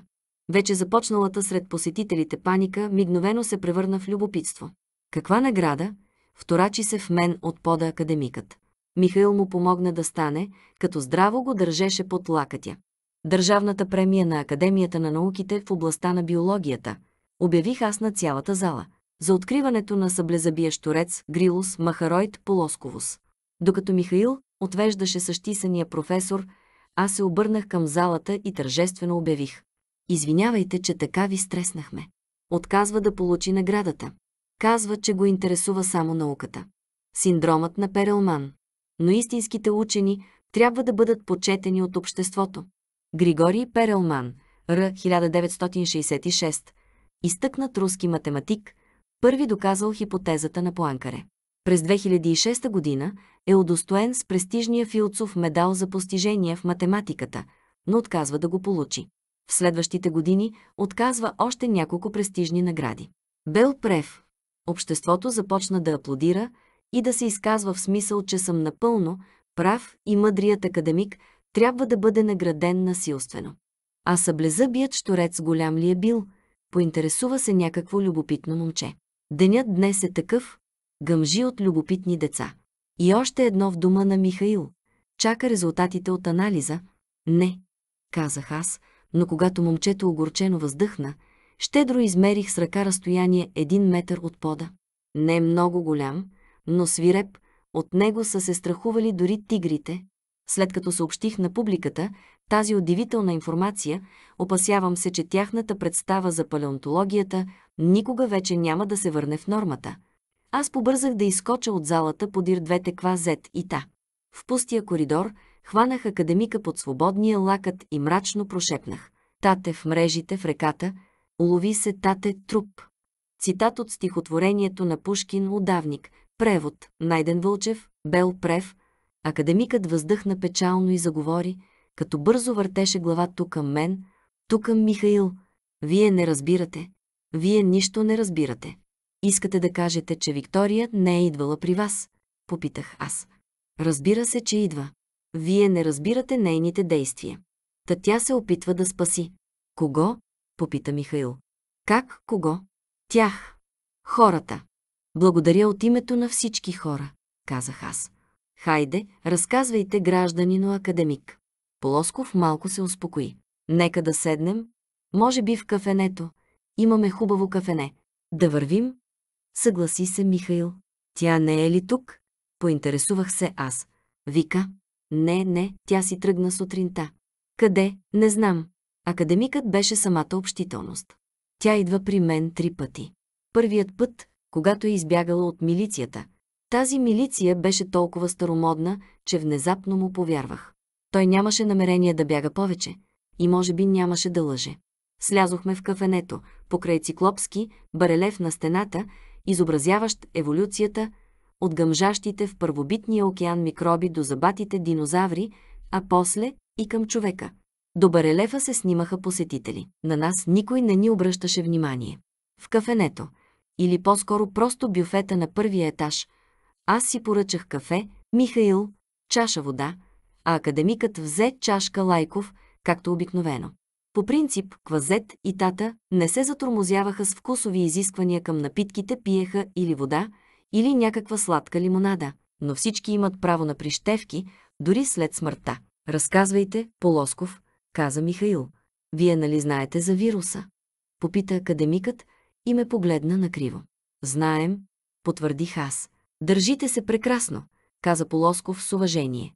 Та така, когато Вика разбра, че професор Томилин е непреклонен и няма да й се отдаде да го оговори, тя реши. Ъ, да му помогне по-бързо да стане квазети. Надяваше се, че това ще му помогне да се избави от ненужната екзалтация и от прибързаните решения. Но тя закъсня. Михаил се намръщи. За какво говорите, Полосков? За вируса, каза професорът обидено. За вируса варицела плюс, който Томилин изобрети и изпробва. Къде го е изпробвал? Кога го е изпробвал? Попита бързо Михаил. Две седмици преди своята. Полосков пак се озърна към мен. Гибел. Не знам как точно, но Виктория каза, че той е получил вируса и го е използвал. Инкубационният период е 20 дни, така че след седмица. Академикът въздъхна. За миг усетих тежест в гърдите. По кожата ми не пробяга хлад, не ме побиха тръпки, в ушите ми не закънтя. Общо взето, нищо чак толкова подобно на онова, което човек би трябвало да изпита в такава ситуация.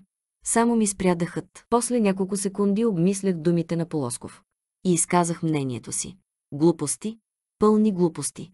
подкрепи ме Михаил. Виктория ли ви го каза? Да, рече Полосков, засегнат. Тя помоли да й помогна, опитваше се да разработи ваксина срещу вируса. Това е пълна глупост. Повиши тон Михаил. Разработката на вируса е била водена от Виктория с помощта на мъжа и, разбира се, по-точно, той е водил по нейно внушение. Но после е започнал да се колебае и тя е решила да го обърне на своя страна. Ами да, тя каза, че така смятате. Кимна Полосков. Но всъщност е обратното. Томилин не искал да унищожи човечеството, а тя е била против. С Михаил се спогледахме. Не, казах аз. Не го вярвам.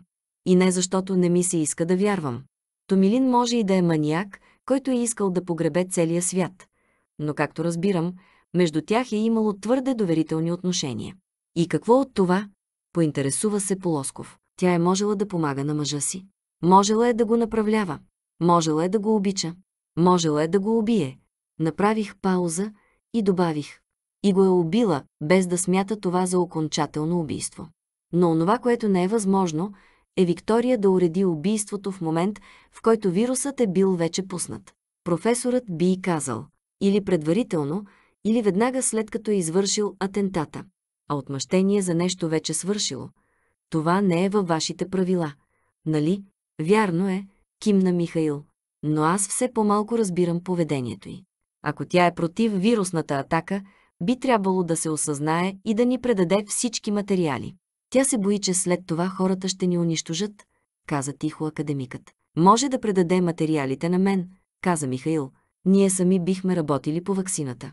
За какво е тази самонадеяност, взимане на заложници в приюта, преследване из града?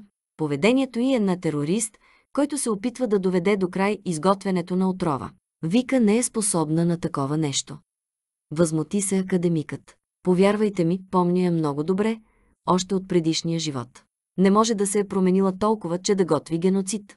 Всички се променят. Упорстваше Михаил. Не, каза твърдо академикът. Вие не можете да си представите как се измъчваше тя заради всички изчезнали видове. И това не е детска глупава романтика. Не е мечта да видиш жив динозавър. Полосков гледаше с явно неодобрение група малки деца, тълпящи се около сувенирната лавка. Малко момченце, надянало си маската на динозавър, скачаше и крещеше. Скок под скок, скок под скок. Аз съм весел диплодок. Свих рамене и казах, е, не виждам нищо ужасно в мечтата да видиш жив динозавър или изкопаем шторец. Колко, колко ни се иска, братя, всичките на жив тирекс да се повозим. Двете квазет и да се вторачиха смаяно в мен. Това е стара детска песничка, поясних аз. Не се натоварвайте. Но щом не е заради динозаврите, за какво се е измъчвала Виктория? За микробите, тя като че ли е специализирала върху древни микроорганизми. Тя се измъчваше за всичко. Поясни Полосков. Разбирате ли, нашата планета е ужасно скучна от към видове, ако се сравнява днешното положение на нещата с всички онези организми, които са обитавали Земята. А нали именно многообразието на видовете е залог за оцеляване, за процъфтяване, усъвършенстване. Може би някакъв древен хвощ би могъл да ни подари. А, безсмъртие? Попитах аз. Кому е нужно то? Него вече го има. Махна с ръка Полосков. Например, висок интелект. А всичките тези хвощове и штурци. Те също ли са измрели от комета? Попитах аз. Комета? Полосков се закикоти противно. Просто някаква си комета? Вие сигурно често гледате анимационни филмчета. Лети си, значи някаква комета. Пада на земята. И бум, динозаврите измират.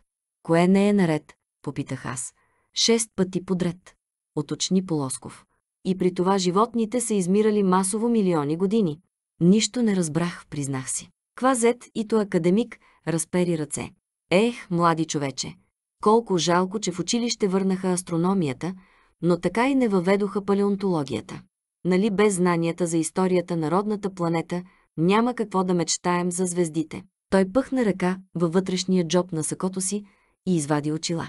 Стъклата им явно бяха обикновени, не лещи, но Полосков ги сложи на носа си, с което още повече заприлича на шторец, и започна да говори.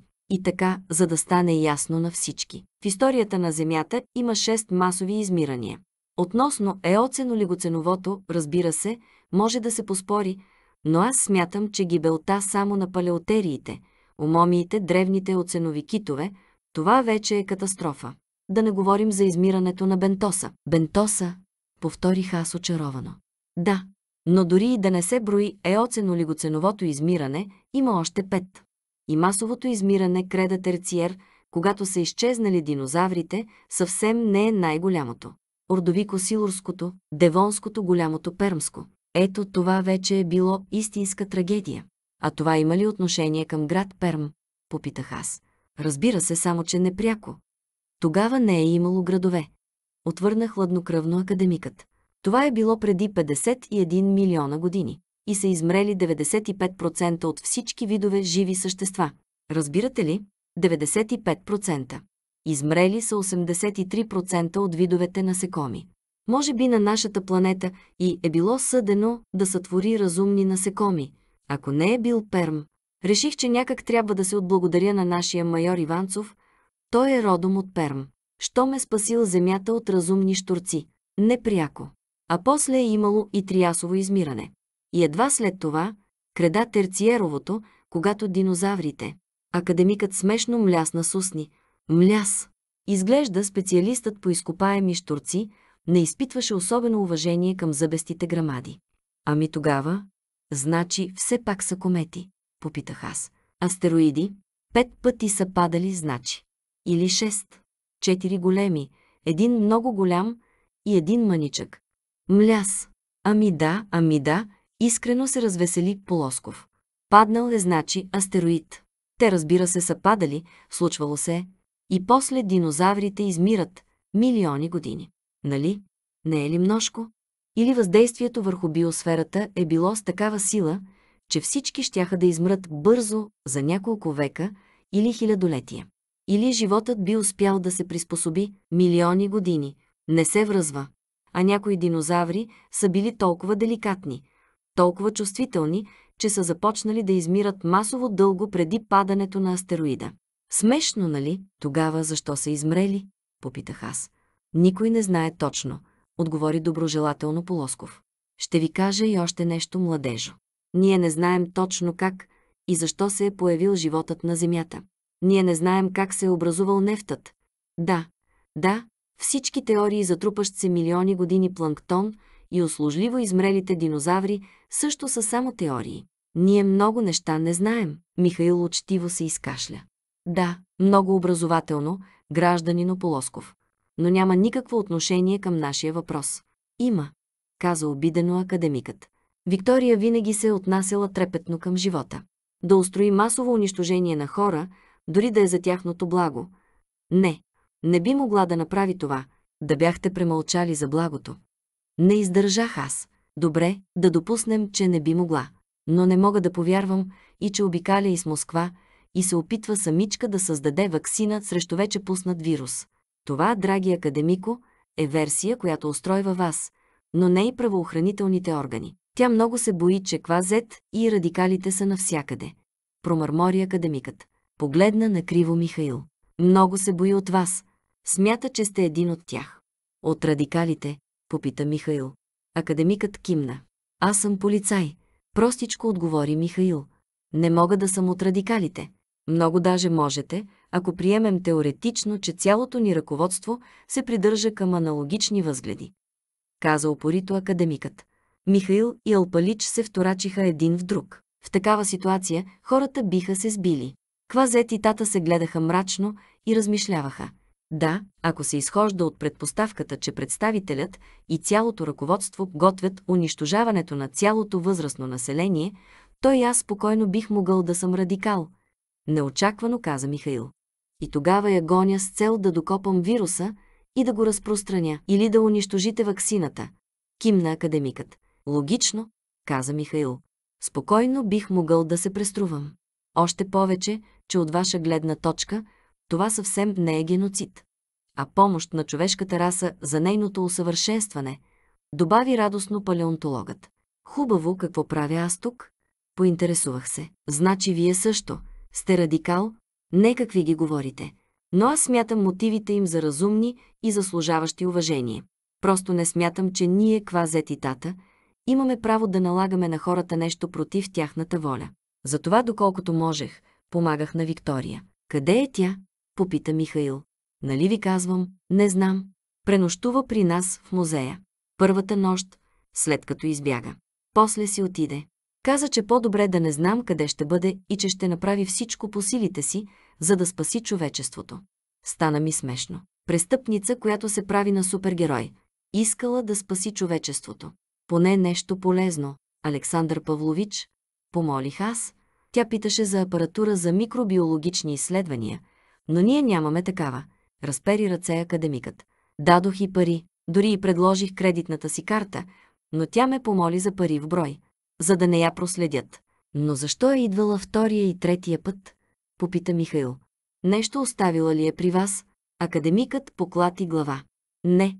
Тогава защо? Няма да повярвате. Въздъхна академикът. На нея е много тежко. Нищо не й се получава, доколкото разбирам. А и това преследване. Тя идваше да пие чай. Да поговори. За какво? Търпеливо продължаваше да разпитва Михаил. За палеонтологията, поясни академикът. За происхода на видовете, така да се каже. За гибелта на видовете. За моята работа. За новостите в науката, просто да поговори. Тя каза, че това й помага да се отпусне и че палеонтологията за нея е всичко. Боя се, че не мога да ви кажа нищо полезно. Михаил ме погледна. Свих рамене. Академикът, изглежда, не лъжеше. Каза и, че повече няма да се появи тук, рече Полосков. Че се приближавате към нея и със сигурност ще дойдете при мен. Или един човек, което е добре. Или двама човек и ква зети. Това е по-лошо. Не поясни ли защо е по-лошо? Попитах аз.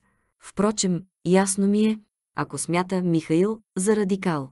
При тези думи Михаил бързо ме погледна.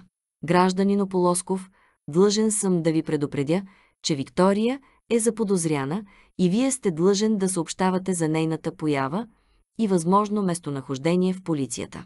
В доклада си ще включа, че сте знаели за нейното бягство от ареста, но не сте съобщили. Най-вероятно ще бъдете глобен, но е възможно и да бъдете осъден на една-две седмици обществено полезен труд. Академикът понесе тази новина стоически. Аз също ще отбележа факта, че не сътрудничите на властите, каза Михаил, докато се изправеше. Когато излизахме от музея, оставили академика да тъжи над недопития си чай от лайка, аз попитах, нали не лъже?